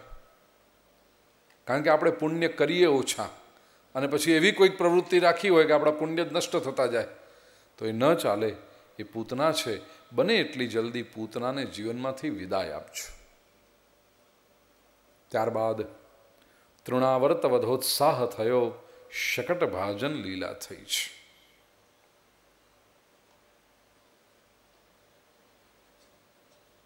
ગર્ગાચાર્ય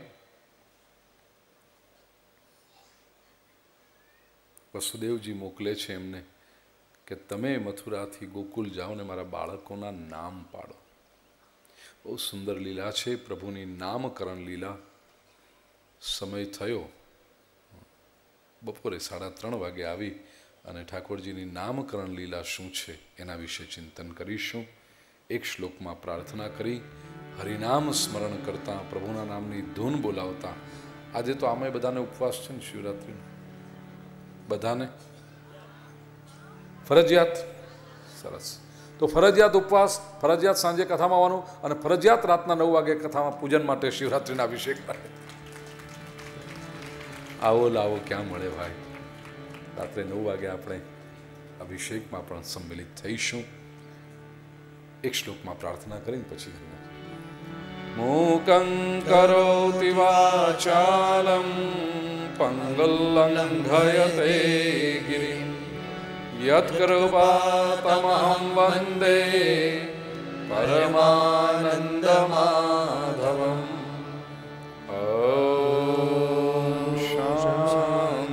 શાંતિ શાંતિ નમઃ પાર્વતી પદય હર